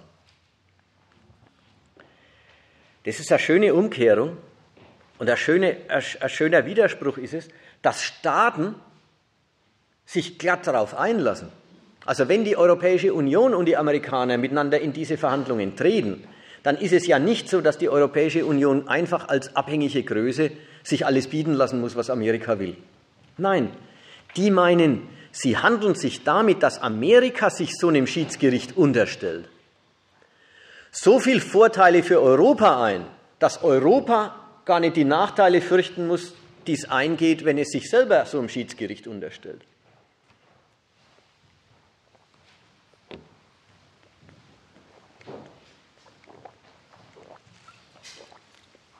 Das enorm Widersprüchliche eines solchen Verfahrens. Staaten räumen immer mehr von den Vorbehalten weg und jetzt sogar ihre gesetzliche Souveränität über die Privatfirmen geben sie auf. Aber nicht, weil sie sich aufgeben wollen, sondern weil sie darin ein Mittel der Durchsetzung ihrer nationalen Wirtschaft gegen die anderen sehen. So ein widersprüchliches äh, äh, äh, Konstrukt kommt natürlich nur zustande, also zwischen Europa und USA, weil es sich gegen Dritte richtet. Der, der Widerspruch für sich, der ist genauso viel Grund, es nicht zu machen, als es zu machen. Und in dem Widerspruch sind ja alle nationalen Debatten auch befangen. In Deutschland, in Europa gibt es die Debatte, dieses, dieses TTIP ist doch äh, des Teufels. Da gibt das Land äh, seine Souveränität über die Wirtschaft auf. Und noch die letzten populären Fassungen. Chlorhühnchen, äh, i. Uns graust's vor Chlorhühnchen, ja. Uns graust's vor Genmais und so Zeug. Hormonrinder. Noch die letzten äh, äh, Konkretisierungen, die, die da so kursieren fürs Volk und die populär geworden sind, sind Formeln für, da gibt unser Land eine von ihm ausgeübte Kontrolle über, in dem Fall, die Lebensmittel auf. Und das kann doch nicht gut sein. Übrigens, die Menschen kümmern sich gar nicht um die Frage, ob Chlorhühner eigentlich wirklich schlecht sind. Ob irgendwer schon am Chlorhuhn sich verschluckt hat. Das ist ihnen gar nicht wichtig. Da sind sie ganz schnell dabei, dass bei uns Chlorhühnchen verboten, also in, in Chlorbädern desinfizierte, getötete Hühner, ja, das ist der Gehalt. Das Chlorhuhn, man muss nicht das Chlor essen, sondern man muss, äh, das Huhn wird gereinigt, wird desinfiziert in einem Chlorbad und das ist in den USA erlaubt und bei uns bis dato nicht. Und da, es geht jetzt darum, ob das auch bei so einer Handelsliberalisierung mit unterschrieben wird. Und da ist jetzt bloß der Punkt, die wirkliche Frage, ob das hygienisch oder unhygienisch ist, ob das gesundheitsschädlich ist oder nicht, die, die kommt gar nicht groß vor. Da steht, dass es eine europäische Regelung für Lebensmittel ist und dass die aus der Hand gegeben werden soll. Ist eigentlich die große Botschaft und damit steht es für die Bedenken, die in den USA übrigens von Kritikern des Vertrags genauso geäußert werden. Aber beides zeugt eben davon, dass die Widersprüche von so einem Vertrag Staaten geben alles auf, womit sie den Nutzen des internationalen Handels für ihre Nation politisch sicherstellen. Damit sie sich damit erkaufen, dass es die andere Nation auch tut, im Vertrauen darauf, dann gewinnt unser Kapital. Das, diese widersprüchliche Konstruktion, die geht bloß auf, weil sie sich gegen Dritte richtet. Und das hat die, die deutsche Kanzlerin äh, äh auch aus, deutlich ausgesprochen. Damit haben wir die Amerikaner und die Europäer Gelegenheit, vielleicht sogar mit dem Ton nochmal, vielleicht ein letztes Mal, weil dann kommt China und Indien und so weiter und dann geht in zehn Jahren geht es vielleicht gar nicht mehr. Nochmal die Gelegenheit dadurch, dass wir für den dann definitiv weitaus größten Binnenmarkt der Welt, Nordamerika und alles, was da dran hängt, und EU und alles, was da dran hängt, Handelsregeln auszumachen, von denen sich kein anderes Land leisten kann, dann nicht äh, sich denen dann nicht zu unterwerfen. Also der Welt die Standards des internationalen Geschäftsverkehrs vorzudiktieren. Das ist die Vorstellung dieses, äh, dieses Vertrags. Ob er zustande kommt wegen seinem Widerspruch, ist es bis dato ganz ungeklärt. Es kommt auch jetzt erstmal gar nicht darauf an. Es kommt darauf an, woran die rumoperieren die Deutschen mit ihrem Kommando in Europa. Alle Staaten müssen sich der Haushaltssanierung unterziehen und müssen dieses Gesundschrumpfen sich antun, damit Europa wieder echtes, nicht, Kredit, nicht bloß kreditfinanziertes Wachstum kriegt und damit den Euro untermauert und als Weltgeld festmacht. Und die USA, wir müssen die ganze Welt handelspolitisch neu organisieren, damit der Weltmarkt wieder ein Garant amerikanischen Konkurrenzerfolgs wird. Beide Seiten haben einen gemeinsamen Gedanken damit. Die Krise lässt sich für sie bloß lösen, wenn sie mit politischen Mitteln Wachstumsgelegenheiten erschließen. Und da haben wir jetzt den Zusammenhang, den ersten Zusammenhang mit der Gewalt oder den Zusammenhang mit der Gewalt. Und ob Ihnen das gelingt, hängt von der Durchsetzungsfähigkeit gegenüber anderen Staaten ab. Ob die Rettung des Euro gelingt, die Etablierung des Euro als Weltgeld oder die Verteidigung des Weltgeldstatus, den der Euro jetzt schon hat, hängt davon ab, ob die deutsche Macht reicht, die Euro-Staaten diesem Kommando zu unterwerfen. ob die Amerikaner den Weltmarkt noch einmal zum einseitigen Mittel der USA herrichten können, den ihnen ja viele andere Nationen, dadurch, dass sie sich nach seinen Regeln richten, schon entwunden haben, hängt davon ab, ob sie sich mit ihren Ansprüchen an die Handelspartner bei denen durchsetzen können. Es, es kommt darauf an, andere Staaten auf Regeln zu verpflichten, ohne dass diese Regeln den anderen Staaten deswegen einleuchten, weil sie sich selber was davon versprechen können. Es kommt darauf an, andere Staaten auf Regeln zu verpflichten, die ihr Messlatte nicht am Nutzen der anderen Staaten haben, sondern die den anderen Staaten zwingend erscheinen, weil ihnen gar nichts anderes übrig bleibt. Also ist es die Frage, kann man andere Staaten zwingen? Jetzt komme ich zu meinem dritten Punkt und da muss ich jetzt richtig nochmal richtig tief Luft holen und neu, neu anfangen. Die Gewaltkonkurrenz um die Beherrschung und die Gestaltung der Staatenwelt, die heuer mit neuer Vehemenz ausgebrochen ist. Diese Gewaltkonkurrenz ist das dritte, ist das dritte Thema. Ich habe ja meinen Zusammenhang habe ich ja benannt. Die Staaten in der Krise suchen sie nach politischen Mitteln, Wachstum erzwingen zu können. Und das hängt davon ab, ob es ihnen gelingt, andere Staaten zu zwingen. Die Gewaltkonkurrenz der Staaten ist dadurch jetzt eigentlich Thema. Andererseits, die Gewaltkonkurrenz der Staaten kommt überhaupt nicht durch die Krise, wegen der Krise in die Welt. Die Gewaltkonkurrenz der Staaten ist der beständige Zustand.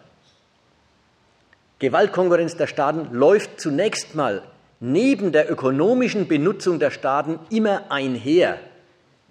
Also, nicht erst in der Krise legen sich die Staaten eine Bundeswehr zu.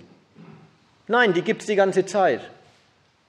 Und da rüstet man auch und die benutzt man auch. Da gibt's es gibt Afga gab einen Afghanistan-Krieg. Es gab in den letzten 15 Jahren vielleicht zehn Auslandseinsätze der Bundeswehr.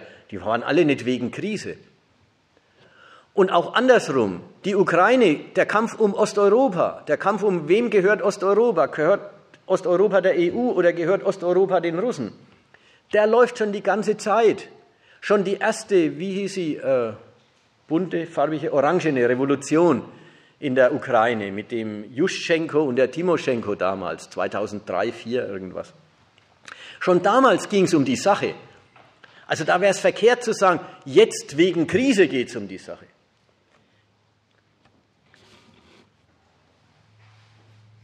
Die Gewaltkonkurrenz der Staaten läuft immer neben der ökonomischen Benutzung einher und die ganze ökonomische Benutzung beruht auf lauter entschiedenen Gewaltfragen. Der ganze Frieden in der Welt ist nichts anderes als eine entschiedene Gewaltfrage. Alle Grenzen zwischen den Staaten sind was? Ergebnisse von Kriegen. Also Ergebnisse entschiedener Gewaltfragen. Und der friedliche Verkehr zwischen den Staaten. Man macht Handelsverträge aus, man tauscht Waren aus, man macht hinterher eine Bilanz, wer dabei gewonnen, wer dabei verloren hat. Alles das beruht auf, einer entschiedenen, auf entschiedenen Gewaltfragen und wird gestaltet und ausgestaltet durch die entschiedenen Gewaltfragen, nämlich durch den Status, den eine Nation gegenüber einer anderen hat. Wenn Amerika an Kolumbien herantritt und sagt, könntet ihr mal das machen, ist es ganz was anderes, als wenn Kolumbien an Amerika herantritt und sagt, könntet ihr mal das machen. Da treten Mächte verschiedenen Gewichts einander gegenüber und ihr ganzer Verkehr wird bestimmt von dem sehr verschiedenen Gewicht. Also, Gewalt kommt nicht durch die Krise in die Welt. Die Gewaltkonkurrenz kommt auch nicht durch die Krise in die Welt. Der Zusammenhang hat nur einen Punkt. Der Punkt heißt, in der Krise und durch die Methoden der Krisenbewältigung kommen die großen Mächte drauf, sie müssen sich nächstens viel mehr durchsetzen als die ganze Zeit. Sie betrachten rückblickend den Frieden, den sie äh, äh, gehalten oder nicht gehalten haben, als sie haben viel zu viel zugelassen.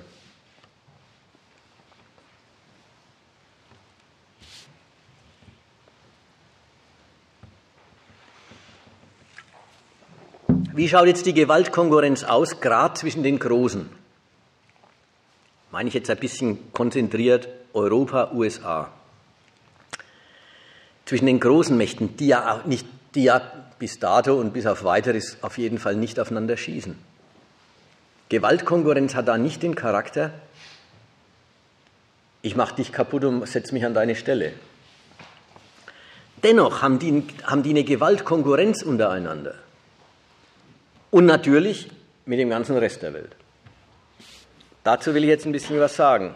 Krise als Grund, aber bloß als Grund zu, man muss sich in dem, was man dauernd sowieso treibt, die Konkurrenz der Mächte, nicht die Konkurrenz ums Geld, wegen der Konkurrenz ums Geld,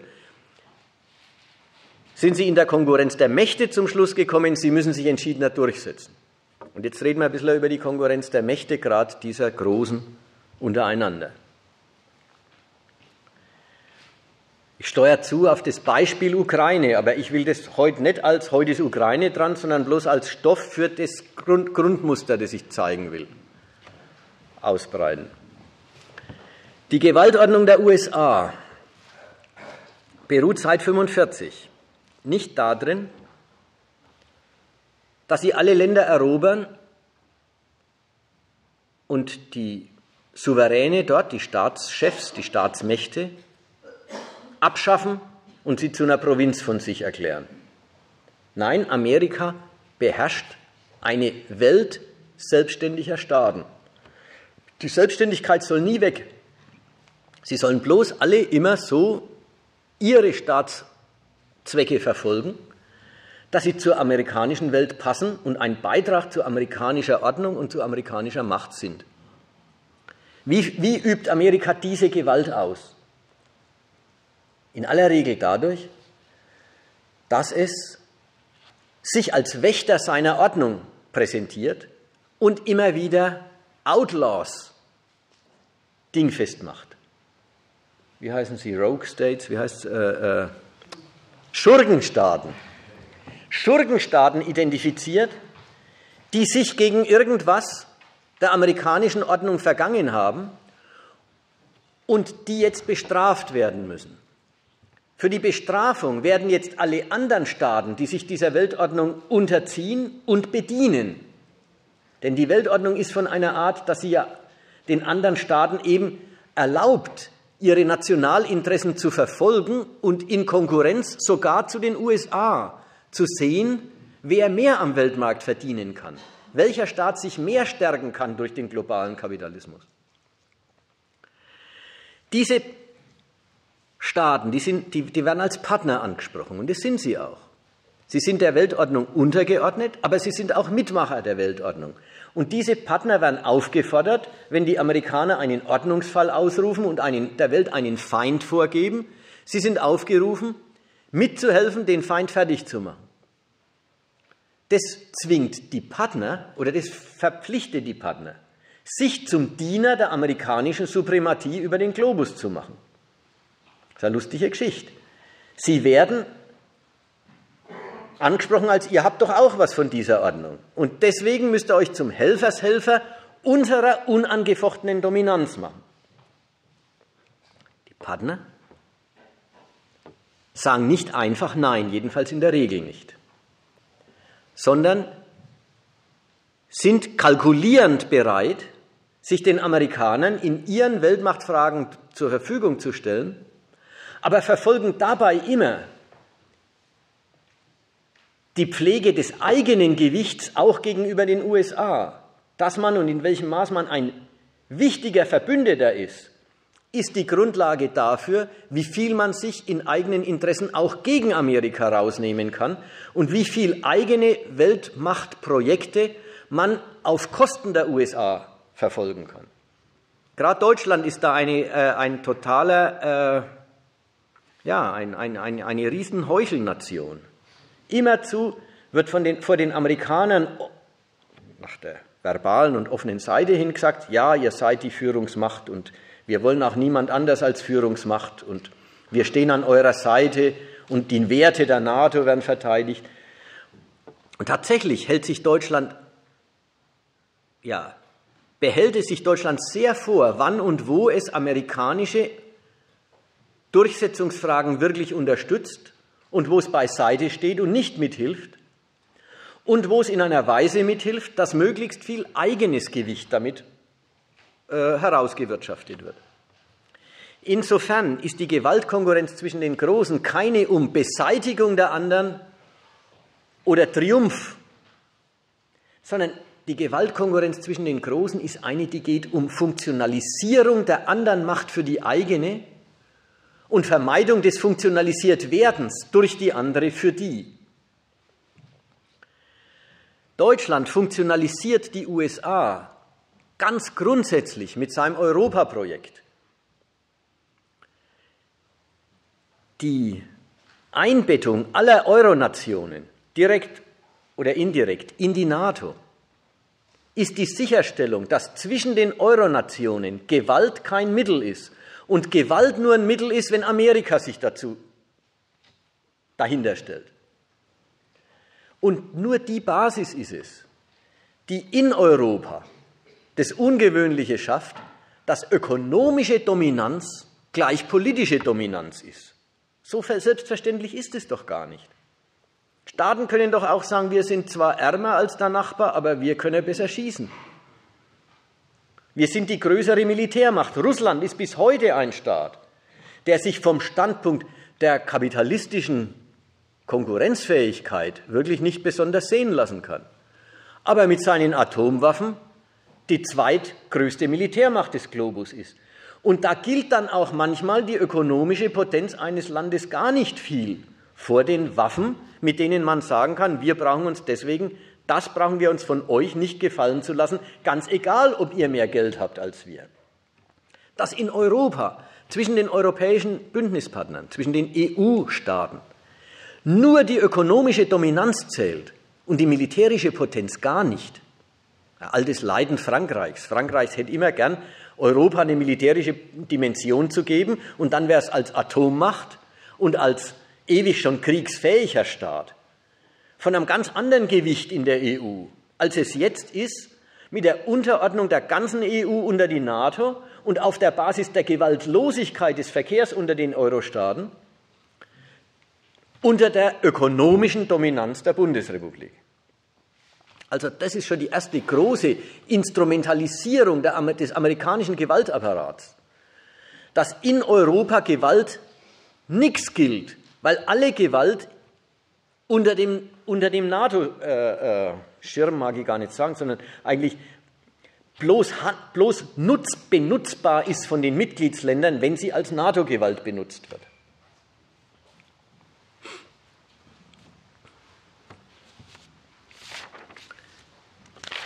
Die nächste, die nächste Form der Instrumentalisierung ist jetzt dieser Kampf um Osteuropa.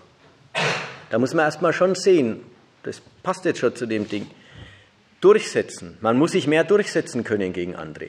Die Europäische Union ändert im Fall am Stoff Ukraine ihren Charakter. Die Europäische Union stellt am Stoff Ukraine klar,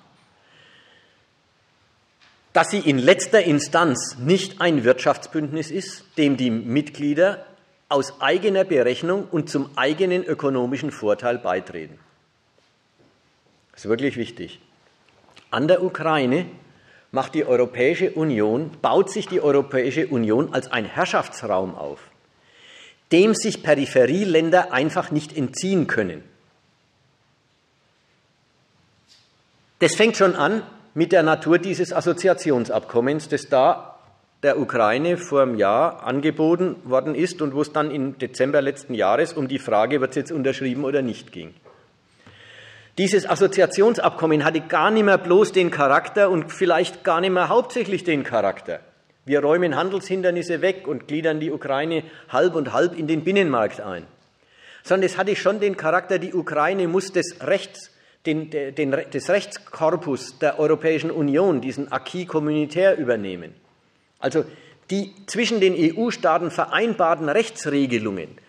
Die Ukraine muss die Demokratie bei sich einrichten, wie sie in der EU üblich ist. Sie muss das Gerichtswesen einrichten, wie es in der EU üblich ist.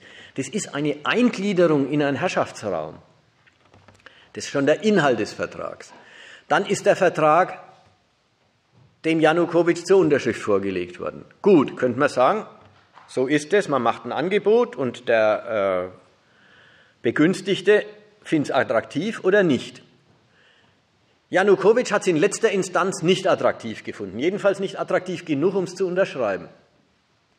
Hat die EU nicht gesagt, naja, schön, war ja auch bloß ein Angebot, wir sind ja auf eure Freiwilligkeit angewiesen. Sondern die EU hat gesagt, dann stürzen wir dich. Sie haben sich zum, zum, zum Promotor und Motor eines Volksaufstands gegen die Regierung gemacht. Sie haben die Spaltung, die es im Land schon die ganze Zeit gegeben hat, geschürt. Sie haben sich hinter die Aufständischen gestellt, sie haben denen den Rücken gestärkt und ihnen eine Perspektive gegeben. Übrigens alles, was Sie jetzt bei den Russen bemerken, wie viel dran hängt, ob so ein Aufstand was taugt oder nicht, wie viel, wie viel Perspektive er von außen kriegt. Alles, was Sie bei den Russen bemerken und bei den Russen als Einmischung und Unrecht und Imperialismus denunzieren, alles das haben Sie selber im Fall Ukraine gemacht. Wenn der Staat nicht unterschreibt, dann schaffen wir uns einen anderen ukrainischen Staat. Muss man sich mal vorstellen. Das ist nicht mehr ein Wirtschaftsbündnis, sondern das ist ein, ein Machtblock, der sagt, wir beanspruchen die Ukraine und wir können sie destabilisieren, wenn sie sich dem von sich aus nicht fügt.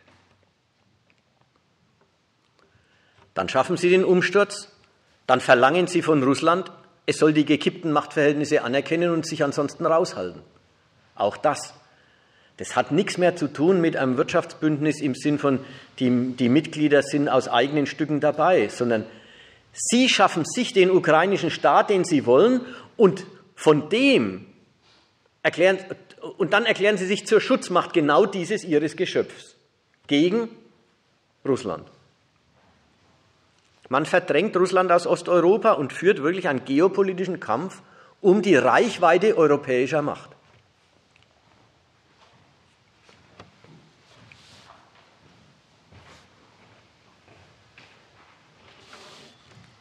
Das ist schon, das ist nicht nur die Sache, sondern das ist immer auch ein Signal.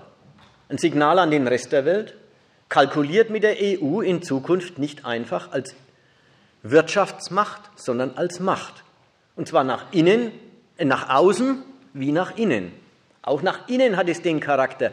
Wenn jetzt die Freiwilligkeit der Mitgliedsländer oder der assoziierten Staaten gar nicht mehr die Basis des Mitmachens ist, dann heißt es auch für Rumänien und Bulgarien und sonstige kleinere Mitgliedsländer der EU, dass in der EU sein eine Geschichte ist, die hängt nicht mehr davon ab, ob die Regierung Lust dazu hat ob die Regierung des einzelnen Mitgliedslands das vorteilhaft findet.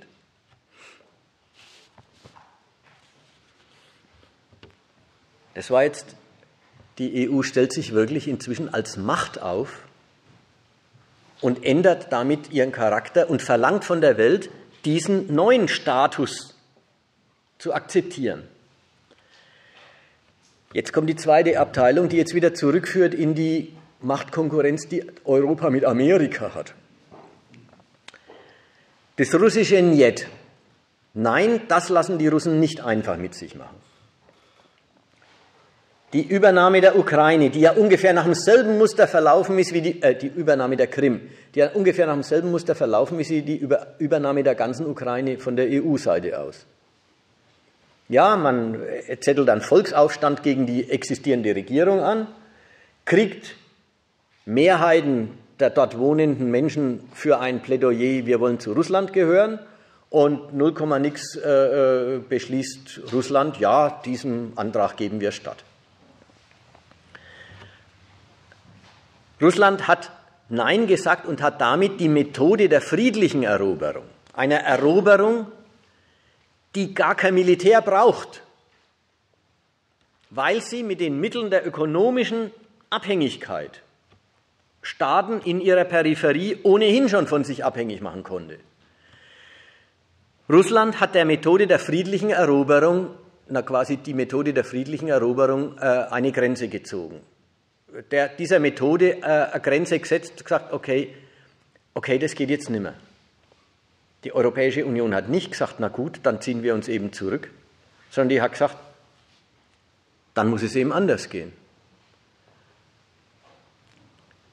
Zunächst bewirkt dieses russische Njet eine totale, unmittelbare Machtkonfrontation zwischen der EU, die Anspruch auf die Ukraine erhebt, und zwar auf die ganze, einschließlich der Krim, und Russland, das diesen Machtanspruch zurückweist und einen eigenen Machtanspruch über Teile Osteuropas aufrechterhält, erstens über die Krim total und was die Ostukraine betrifft, äh, tja, so als Druckmittel mindestens.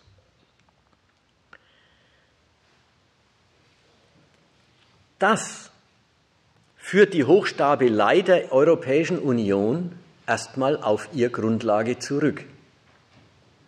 Wenn Russland mit seiner Militärmacht Nein sagt, dann ist Europa als Weltmacht, die den Russen Paroli bieten kann, nur so viel wert, wie die NATO und damit Amerika dahinter steht. Dass sie, den, dass sie nicht den Rückzug antreten, sondern sagen, dann geht es eben anders, verweist sie auf die Rückendeckung durch die Amis blamiert den eigenständigen Imperialismus der EU als Maulheldentum, dass, man, dass sich die ja bloß leisten können, weil sie die Amis im Rücken haben. So, der erste Schritt. Amerika benutzt diesen Zustand jetzt für seine Machterweiterung. Nämlich, wenn ihr Europäer die Rückendeckung durch Amerika und die ganze NATO braucht, dann übernehmen auch wir das Kommando, die Amis. Und wir gestalten die Krise jetzt zu einer Sache, die zu einer gezielten Dauerkonfrontation mit Russland führt, welche euch Europäer zwingt, wieder zu einer Bündnisdisziplin gegenüber Amerika zurückzukehren, die ihr längst verlassen habt. Wenn, in Europa, wenn Europa in einem kalten Krieg gefangen ist, dann ist für alternative imperialistische Projekte der EU einen eigenen, auch antiamerikanisch organisierten Machtbereich aufzurichten kein Platz mehr. Das ist der amerikanische Standpunkt. Deswegen sind die Amerikaner in der Ukraine-Krise jetzt die totalen Scharfmacher. Sie stellen sich hinter die Radikalinskis in Kiew, die kein Arrangement mit den Russen suchen, ermuntern Sie wirklich dazu, jede Vereinbarung zu kippen, zurückzuweisen. Das war jetzt die letzten Tage erst wieder das Thema. Da hat die Europäische Union zusammen mit Russland und der Ukraine und den Separatisten einen Waffenstillstand ausgehandelt. Und es ging um die Frage, wird er jetzt verlängert? Und die haben sich offenbar auch auf eine Verlängerung schon vollständig geeinigt.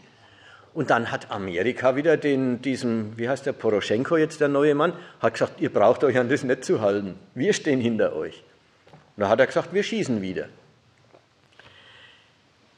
Jetzt findet der Kampf statt, um von der Europäischen Union her, um eine Begrenzung der Konfrontation, weil es die Verteidigung der eigenen imperialistischen Machtausweitung ist.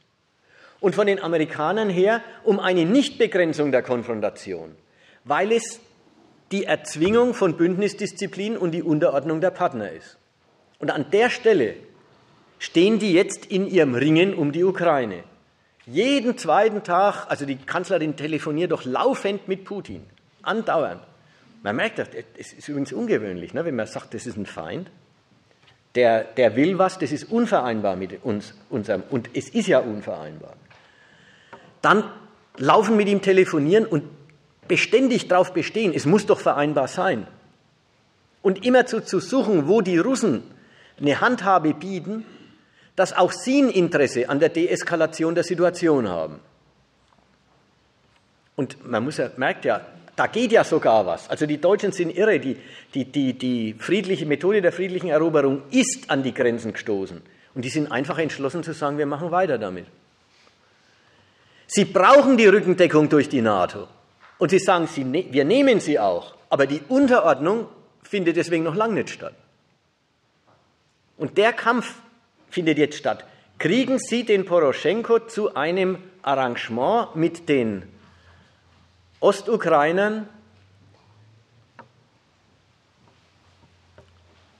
dass das mit den Russen zu haben ist. Das wäre die Zurückweisung der amerikanischen Aufmischerei und die Etablierung einer europäischen Macht über wenigstens die größeren Teile der Ukraine. Aber wichtig war mir jetzt Folgendes. Es findet in dem Sinn wirklich auch eine Machtkonkurrenz, eine Gewaltkonkurrenz zwischen Amerika und Europa statt. Aber nicht in der Weise, dass sie einander bedrohen, sondern dass sie um die, um die Instrumentalisierung voneinander ringen. Wer muss sich zum Diener der Machtausweitung von wem machen? Das ist der Kampf, der da stattfindet. So, und jetzt bloß noch eine Schlussüberlegung. Die Frage, okay, dann wird die Ukraine der EU angegliedert, angenommen. Okay, dann krallt sich Japan die Senkaku-Inseln. Was, was hilft es für den Aufschwung? Ja, da muss man sagen, die Frage gibt es nicht mehr. Die ist überrundet durch den Fortgang. Es ist ein Fortgang in die gewaltmäßigen Grundlagen des Staatenverkehrs. Aus der Krisenbewältigung raus haben die gesagt, wir müssen uns mehr durchsetzen gegen andere als bisher. Und jetzt sind sie beim Durchsetzen. Die Frage, was es Durchsetzen rückwärts für die Wirtschaft nützt, die wird nicht mehr gestellt. Man steht jetzt auf dem Standpunkt der Durchsetzung. Vielleicht ist da noch ein Hinweis drauf, dass die Europäer, nicht nur die, AMIA auch, aber die Europäer im Verhältnis zu Russland ihre Wir äh, äh, über Wirtschaftssanktionen nachdenken. Und übrigens auch längst schon welche gemacht haben, aber halt so, welche von denen Sie immer sagen, die sind noch gar nicht richtig. Äh, dass Sie über Wirtschaftssanktionen nachdenken, das ist eigentlich der Übergang dieser Standpunkte. Die Wirtschaftsbeziehungen pflegt man, um an dem anderen Staat zu verdienen. Mit Russland haben Sie enorm viel Wirtschaftsbeziehungen und Sie verdienen enorm viel an dem anderen Staat. Wer Sanktionen sagt, sagt, ich mache die Wirtschaftsbeziehungen zu einer Waffe. Dann stehe ich aber auch nicht mehr auf dem Standpunkt der Wirtschaft. Dann stehe ich nicht mehr auf dem Standpunkt, das kommt aufs Verdienen an. Nein, das Verdienen wird jetzt ja gerade hinter die Durchsetzung zurückgestellt. Jeder in Europa weiß, das kostet natürlich Wirtschaftswachstum, wenn man die Sanktionen durchzieht. Das schädigt auch uns. Die Auskunft heißt dann, aber uns weniger als die Russen. Ja, es schädigt uns weniger als die Russen, ist immerhin das Bekenntnis, es schädigt uns. Weniger als die Russen, deswegen ist es für uns eine Waffe und nicht für die. Aber es ist der Standpunkt, die Wirtschaftsbeziehungen ist Waffe, sind Waffe. Und wenn man überhaupt einen Zusammen, wenn man den Zusammenhang zum, zur Krisenbewältigung haben will, dann geht sie nur über das ganz, ganz, ganz Grundsätzliche. Wer sich gegen andere besser durchsetzt, kann alle Beziehungen zu seinem Vorteil gestalten. Das ist dann der Zusammenhang. Aber die Frage im engeren Sinn, was nützt es für, einen Aufschwung, die wird einfach nicht mehr gestellt.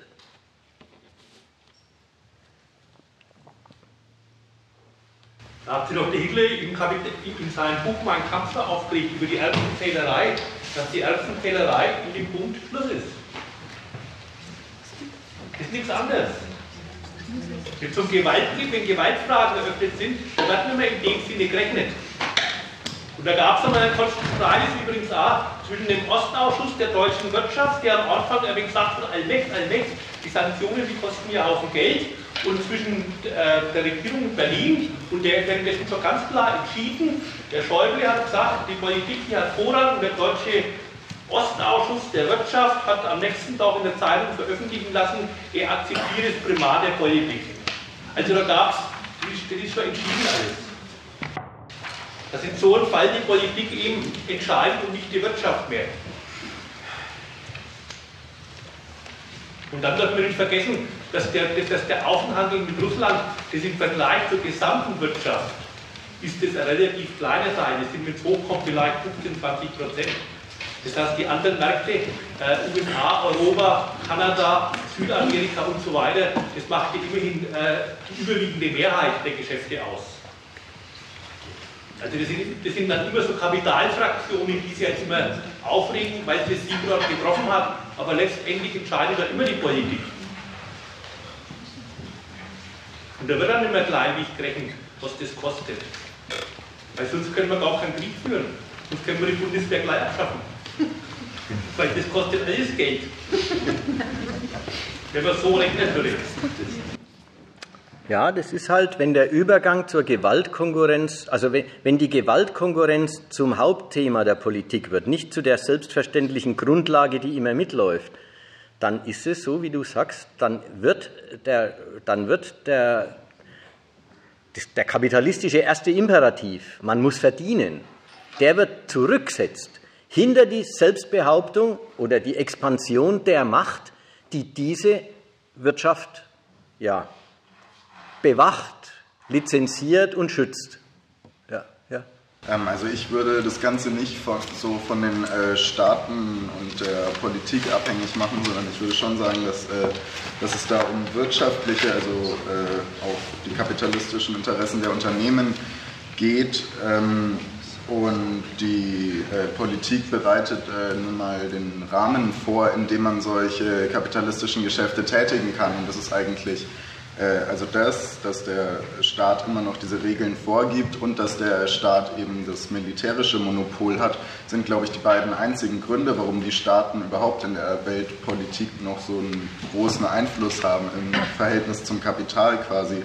Und ähm, ich würde jetzt auch nicht sagen, dass die Staaten unbedingt nationale Interessen vertreten, also zumindest die meisten nicht, ähm, sondern dass die überwiegend kapitalistische Interessen vertreten. Und ähm, ja, warum kommt es dann zu Krieg? Also es ist eben so, dass weil die Staaten ja immer noch die Macht haben, bestimmte Regeln und äh, ja, Gesetze zu erlassen, dass das halt manchmal dem Profitstreben im Weg steht. Äh, früher, ähm, während dem Kalten Krieg, war es halt so, dass die Staaten dann äh, sozialistisch waren und deswegen äh, ihren Markt protektioniert haben. Und heute ist es halt so, dass dann in den Staaten einfach Chaos herrscht oder irgendein Gottesstaat wie jetzt äh, im Nahen Osten und dass deswegen der äh, Handel und äh, äh, der Profit behindert ist. Und solche unliebsamen Regierungen sollen dann halt einfach äh, mithilfe von militärischen Mitteln beseitigt werden. Ich glaube, das ist der Hauptzusammenhang zwischen Kapital und Krieg. Also man, man, merkt es auch, wenn man sich anschaut, wo Krieg geführt wurde, da kann man sich verschiedene äh, Karten anschauen. Halt äh, eigentlich alle Staaten, wo die NATO Krieg geführt hat, äh, waren zum Beispiel kein Mitglied in der World Trade Organization oder so. Und äh, bei, äh, in der Ukraine-Krise gegen Russland oder jetzt auch bei der Krise, die in Venezuela geschürt wird, da geht es dann zum Beispiel um äh, Handelsbündnisse, die unabhängig sind vom Weltmarkt. Und das sind dann die Motivationen, glaube ich.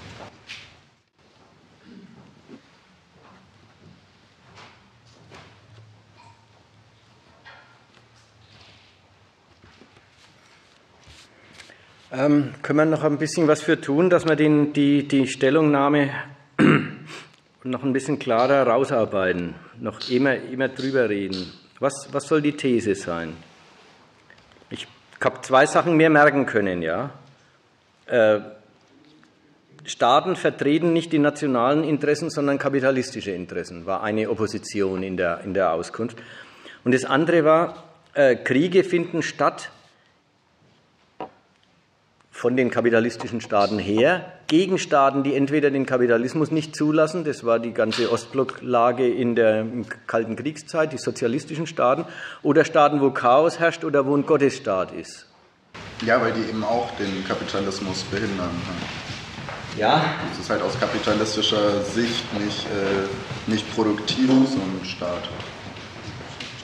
Also die, ähm, die Kapitalisten wollen halt in anderen Weltregionen hauptsächlich äh, die, ähm, das erreichen, was sie für ihre kapitalistische Produktion brauchen, zum Beispiel Rohstoffe, jetzt Öl oder aber auch zum Beispiel billige Arbeitskräfte. Und das geht dann halt auch über äh, freie Konkurrenz. Also freien Anführungszeichen. Nee, nee, keine Anführungszeichen. Ist schon frei. ähm, ich, muss, äh, ich will nochmal nicht direkt widersprechen, sondern ich will noch ein bisschen rumbohren. Ja? Äh, was sagst du zu Folgendem? Also erstmal, ich stimme da natürlich zu, was die damalige Ostblocklage betrifft.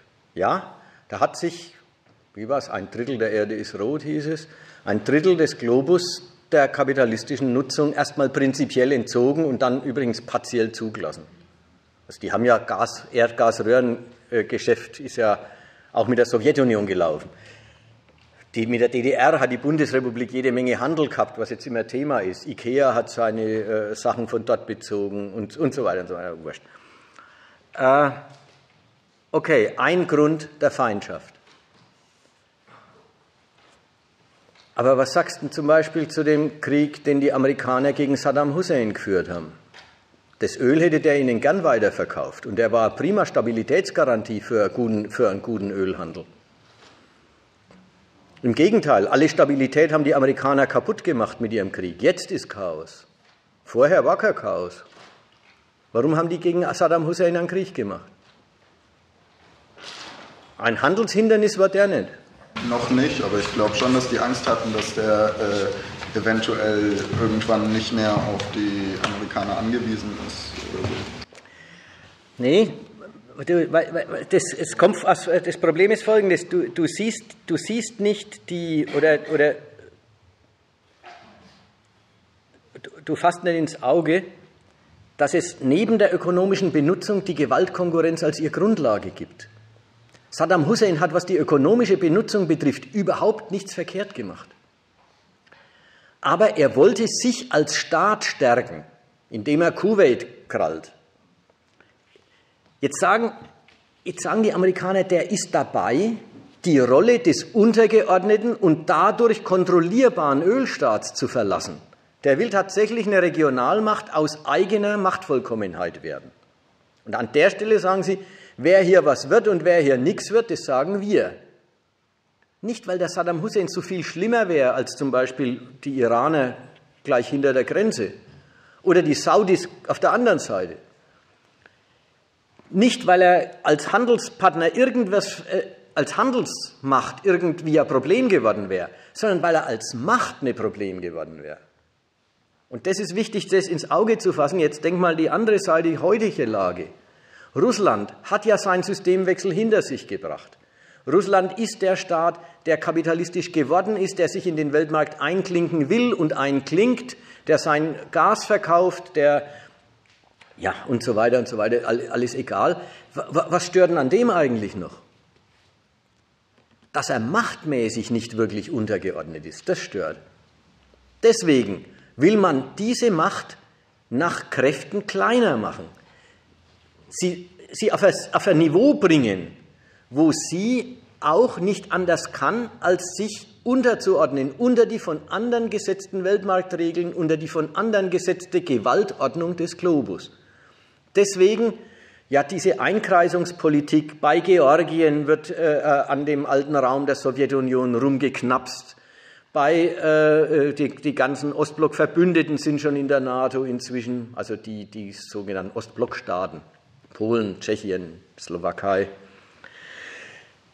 Jetzt der engere Raum der Sowjetunion, die Ukraine, also mit Kernland der Sowjetunion wird darum gekämpft, es Russland wegzunehmen. Und der Ami-Präsident sagt eigentlich schon das Stichwort.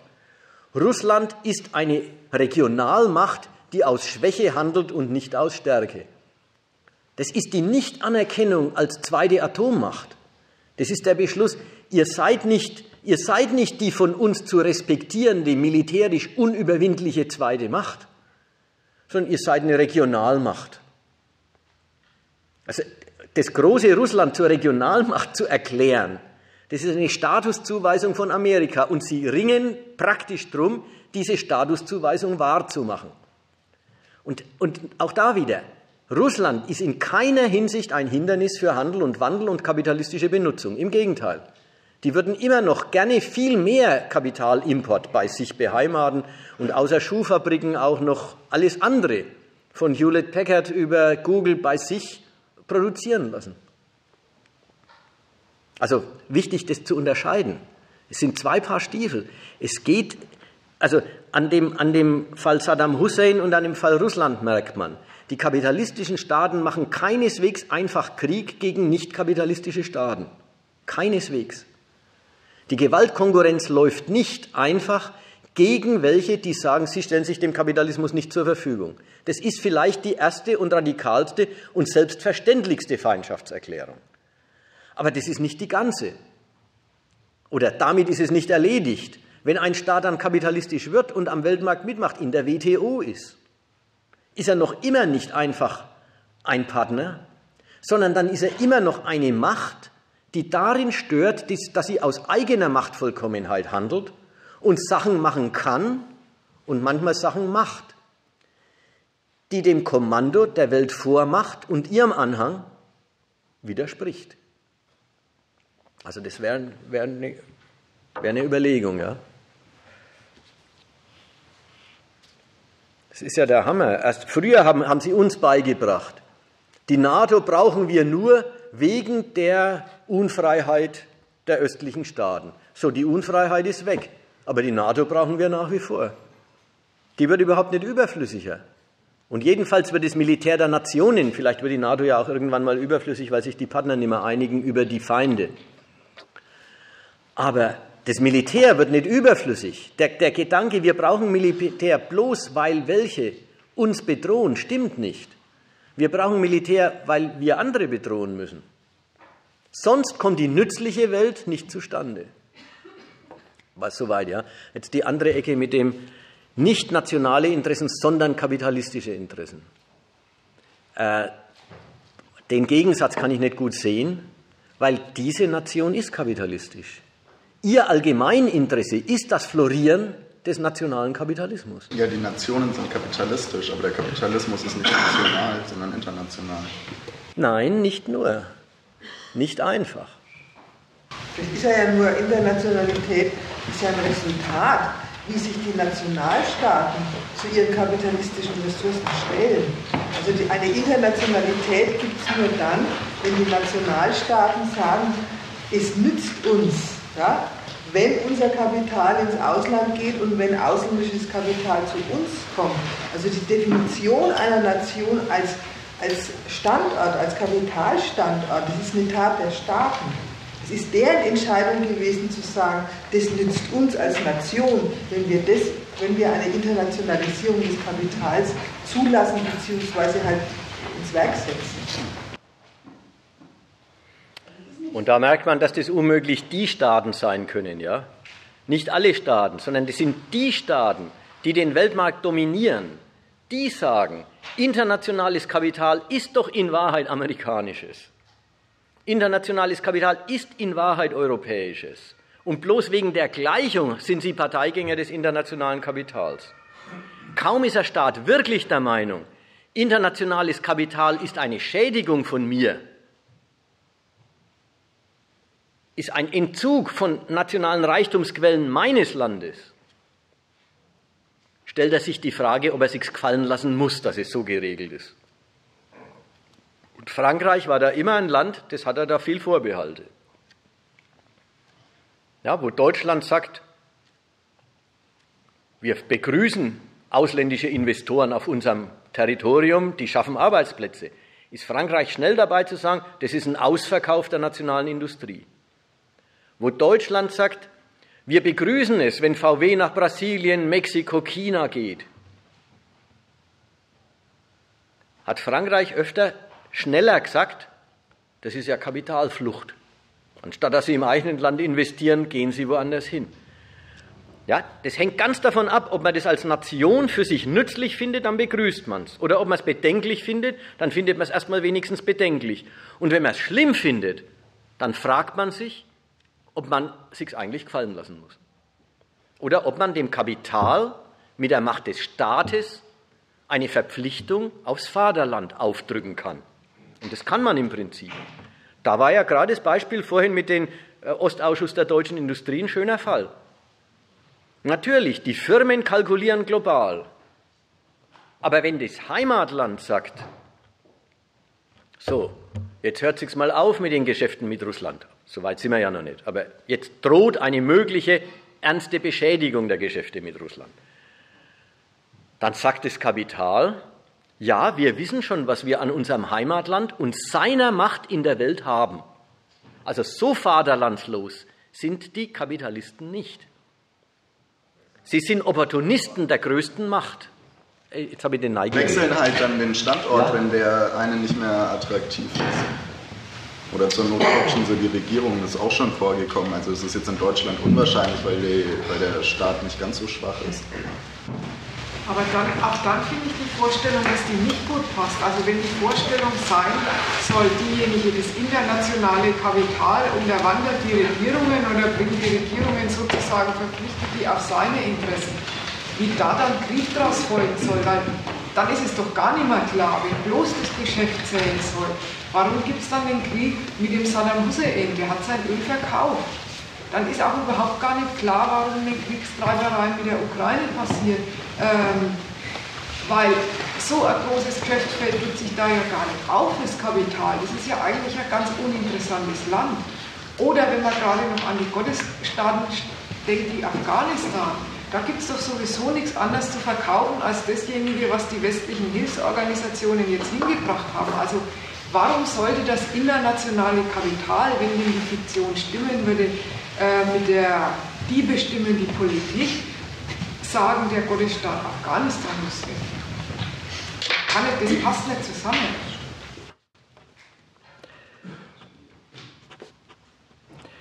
Vielleicht äh, lohnt sich noch eine Überlegung. Also völlig richtig. Dem stimme ich. Ja, aber ähm, die, die, die linke Praxis, sich jeden Krieg mit Bodenschätzen zu erklären, die unter dem Boden des Ziellandes liegen. Ja. Manchmal Bodenschätze zu erfinden, weil man sich an Krieg erklären muss, lebt insgesamt davon, dass das Verständnis dafür fehlt, dass es eine Gewaltkonkurrenz wegen der, wegen der Bedingungen der Benutzung der Welt gibt. Die Gewaltkonkurrenz zielt nicht gleich auf den Raub des Bodenschatzes. Ja, man, man, man, man auch noch nicht mal, noch nicht mal George Bush hat Saddam Hussein äh, einen Krieg geliefert, damit er ihm dann das Öl wegnehmen kann.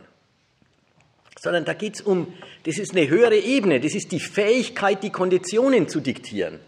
Die Fähigkeit, andere Gewaltsubjekte, andere Gewaltmonopole, Staaten zu verpflichten, die eigene Willensbildung in Konkordanz, in Übereinstimmung mit der Vormacht zu gestalten. Und um diese Frage geht es, und die ist, die ist entscheidend, an der hängt alles. Anderen Staaten den Willen diktieren können. Das heißt nicht ihnen, ihnen ihre Bodenschätze wegnehmen. Die, wollen die, die Amerikaner wollen die nach wie vor bezahlen. Aber das ist jetzt auch widersprüchlich halt, wenn man sagt, einerseits irgendwie der Hussein hat alle amerikanischen Regeln befolgt und andererseits, die sind da einmarschiert, damit er ihre Regeln befolgt. Der hat die Regeln des Handels befolgt und an der Front wäre es nicht das Problem gewesen. Aber er hat sich als Macht vergrößert und sich damit aus der Kontrollierbarkeit zu entziehen versucht. Ja, aber das waren noch zwei Kriege. Also die Machtverlust in Kuwait, das war der erste. Aber da, wo er eins auf den Deckel gekriegt hat, war ja nicht Kuwait.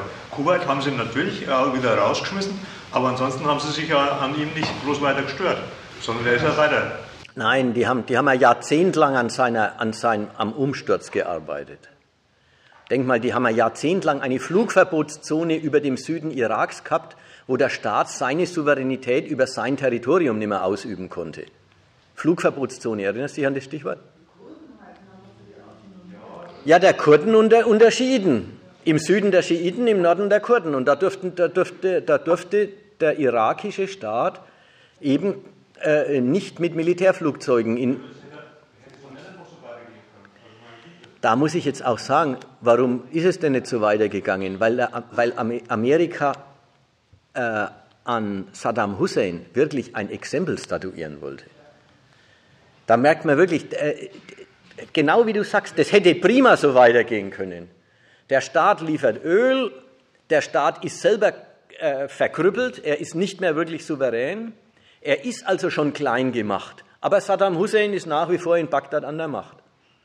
So, und dann haben sie die Geschichte mit den Massenvernichtungswaffen erfunden, weil sie den Krieg gewollt haben. Aber warum haben sie ihn gewollt? Weil sie, weil sie eine Demo der Durchsetzung der Amerikaner und in dem Fall wieder einen Fall der Disziplinierung der ganzen Restwelt über einen Krieg gesucht haben.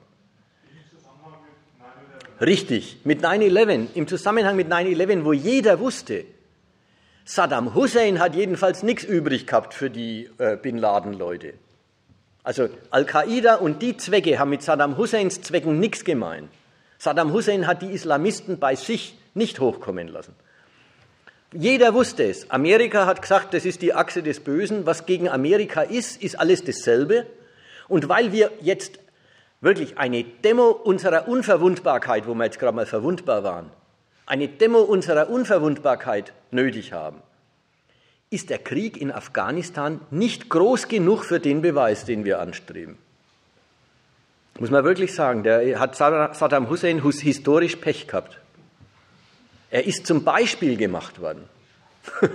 ja, man muss ja nicht gleich Mitleid mit ihm haben. Ähm, vielleicht noch, ist noch ein Punkt in der Überlegung von vorhin äh, brauchbar und dann kommen wir langsam zum Ende. Nämlich, äh, es war, äh, du hast an irgendeiner Stelle noch eingeworfen und wenn es den Unternehmern oder den Kapitalisten nicht passt, was eine Regierung macht, dann putschen sie auch mal. So ähnlich, ja? Äh, der Gedanke, das Kapital setzt sich im Staat durch und muss sich im Staat durchsetzen, manchmal gegen den Staat.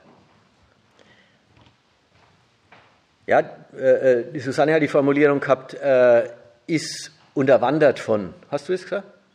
Ja, der Staat ist unterwandert von Kapitalinteressen und, Kapitalvertretern. Der, Stand, der Gedanke, der, der hat, hat er, das ist eine Formel für, warum Staaten Politik im Interesse des Kapitals machen. Ja? Die Formel unterstellt aber eine zu große Trennung zwischen Staat und Kapital. Wenn man sagt, der Staat müsste unterwandert, müsste gehijackt, also gekidnappt werden, von Kapitallobbyisten oder Kapitalfraktionen. Die Gemeinsamkeit von Staat und Wirtschaft bei aller Trennung, die Wirtschaft ist die Wirtschaft, der Staat ist der Staat. Der Staat ist die politische Macht, die die Gesetze macht, und die Wirtschaft ist die Macht des Geldes, die unter den Gesetzen und im Wesentlichen unter Befolgung der Gesetze ihre Interessen verfolgt. Die Trennung von Staat und Kapital ist aber nicht so, darf man sich nicht so vorstellen, dass der Staat wirklich praktisch nichts zu tun hätte mit dem Kapital. Und deswegen erst durch äußere Beeinflussung, eben durch Lobbyismus oder durch Unterwanderung oder gar durch Putsch, auf Kapitalinteressen verpflichtet werden müsste. Der Staat ist die politische Macht, die lebt vom Florieren des Kapitals unter seiner Herrschaft. War vorhin mal die Rede davon. In, in, einem kapitalistischen Land ist alles davon abhängig gemacht, dass das Privatinteresse der Kapitalisten aufgeht. Deren Geschäfte müssen gelingen, deren Gewinne müssen fließen, deren Gewinne stiften überhaupt die Einkommen aller anderen Gesellschaftsschichten. Arbeitskräfte verdienen Geld, weil Unternehmer sich mit deren Arbeit bereichern können. Also sind die ganzen Einkommensquellen der abhängig Beschäftigten sind abhängige Größen des Geschäftsgangs der Unternehmer. Sogar der Tante Emma Laden an der Ecke geht bloß, weil die Arbeitskräfte Geld kriegen und das kriegen sie vom Arbeitgeber. Also das, was die ausgeben, kriegt die Tante immer am Schluss. Aber auch die kann bloß Geschäft machen, weil, weil von Kapital gestiftete Kaufkraft im Land rumwest. Und alles, was der Staat machen kann, ist abgezweigt den, aus den kapitalistisch entstandenen Einkommensquellen, den Gewinnen, den Löhnen, den Umsätzen. Insofern ist der Staat nicht erst durch äh, äußere Beeinflussung, nicht erst durch Druck oder Unterwanderung auf Kapitalinteressen äh, na, hellhörig, wenn Kapitalbedarf angemeldet wird, wenn Unternehmer Bedarf anmelden an Gesetzgebung und so, sondern er ist aus eigenem Interesse, seine eigene Macht beruht genau darauf. Das eigene Interesse ist erstmal bloß, dass er seine Aufgaben gut erledigen kann, dass er über viel Mittel verfügt, um seine Aufgaben gut zu erledigen. Und das tut er, indem er das Kapital zum Florieren bringt. Und dann fährt er gut und weitet seine Macht aus. Mehr Zweck hat der Staat nicht, aber den hat er schon. Und das bindet die Obrigkeit ganz unter kapitalistischen Bedingungen ganz automatisch an die Interessen des Kapitals, die zu befördern die große nationale Aufgabe sind. Deswegen eben, Red vorhin, nationale Interessen und die Interessen, einen erfolgreichen Kapitalismus zu verwalten, sind dasselbe. Jedenfalls soll man sich hüten, der Nation andere, neutrale, humanere Zwecke nachzusagen als diesen ökonomischen. Das ist die materielle Grundlage der politischen Macht. Der Nationalstaat, der ist ja mit dem Kapitalismus entstanden. Ja. Das heißt, wenn der Kapitalismus weg ist und der Matthias nicht komplett an den Weltkrieg zeigt, dann zerfallen da die ganzen Nationalstaaten automatisch. Ja, das wollen wir jetzt nicht. Äh, es müssen natürlich äh, humanere Interessen sein, aber wenn du vorher einen Unterschied zwischen Frankreich und äh, Deutschland aufgemacht hast, jetzt von, äh, von dieser äh, von dem Agieren, wie sie mit ihrem jeweiligen nationalen Kapital umgehen, dann äh, kannst du es ja letztendlich nur historisch begründen über eine Gewordensein von irgendeinem Nationalcharakter oder sowas. Also wenn die Franzosen eher misstrauisch sind, wenn das Kapital ins Ausland geht und die Deutschen das ganz prima finden, wenn sie ins Ausland gehen, ähm, dann müsste man sich ja, wenn man es rein objektiv sieht, nur fragen, äh, wo bringt es mehr, also wo kommt mehr, mehr Kohle letztendlich für den Staat rein. Äh, was aber die Franzosen anscheinend dann trotzdem irgendwie nein, nein. anders haben äh, oder, oder nein, liegt es nur tatsächlich daran, dann müsste es aber äh, auf das zurückführen können. Ja. Oder äh, ließe sich ein historisch gewordener, keine Ahnung, über französische Revolution oder über die komische Nationenwerdung von Deutschland oder was weiß ich, was da noch für eine Rolle spielen wird, ließe sich sozusagen noch sowas wie ein wie eine unterschiedlicher Nationalcharakter. Bei den einen Blut bei den Deutschen und bei den Franzosen erstmal. Ähm, äh, also diese ganzen Geschichten, also sozusagen, die nicht wahrscheinlich nicht komplett halt in, in der Ökonomie aufgehen. Aber äh, man muss erstmal beim ersten bleiben.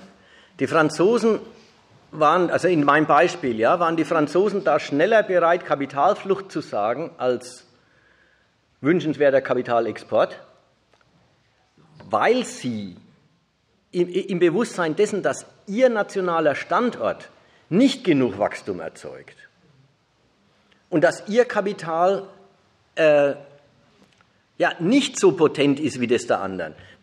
Wenn, wenn die Bundesregierung äh, äh VW lobt, dass es nach Brasilien und sonst wohin geht und nicht das Bedenken hat, dann werden in Wolfsburg die Arbeitsplätze weniger. Dann heißt es, hier findet der Kapitalexport als Ergebnis von Wachstum statt. Wenn in einem Land das Kapital weggeht, nicht weil es viel wächst und deswegen noch woanders wachsen will, sondern wenn es weggeht, weil es hier nicht wachsen kann, dann hat der Staat allen Grund, es für Kapitalflucht zu halten. Ja. Und dasselbe umgekehrt. Wenn Kapitalimport nicht ein Zusatz zum Geschäftsgang daheim ist, sondern wenn Kapitalimport im Wesentlichen drin besteht, den, Kapital, äh, des, den Geschäftsgang daheim durch zahlungskräftigere Ausländer zu übernehmen, also es gar kein Beitrag zum Wachstum ist, sondern bloß es gehört einem Ausländer, ja, dann ist, man, dann ist man schnell dabei zu sagen, das ist ja eher Ausverkauf als wünschenswerte Expansion. Und das ist alles unabhängig von äh, Traditionen und, und so, sondern das hängt einfach an dieser Einschätzung. Ist es ein Beitrag zum Wachstum oder ist es ein Zeichen von, von, von ausfallendem Wachstum? Und es hat auch gar nichts damit zu tun mit dem vorstellig gemachten vorhin ein anderer Weg für die Nation quasi als äh, das Kapital und die Wirtschaft. Es sind ja nur zwei alternative nationale Wege, wie man meint, seine Wirtschaft am besten zu fördern. Also das ist kein, äh, keine, kein Abweichen von dem Prinzip, die Förderung der Wirtschaft, wo auch selbstredend immer klar ist, wer mit der Wirtschaft gemeint ist, nämlich das Unternehmertum, äh, dass die an erster Stelle stehen.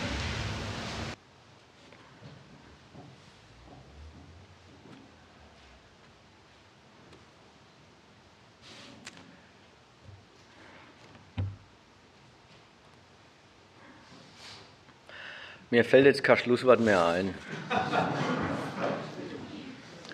Das war, äh, ich, es ist irgendwie, ich, ich, kann jetzt nicht den ganzen Argumentationsgang in zwei Sätzen wiederholen. Insofern äh, bleibt es einfach dabei. Wortlos gehen wir auseinander.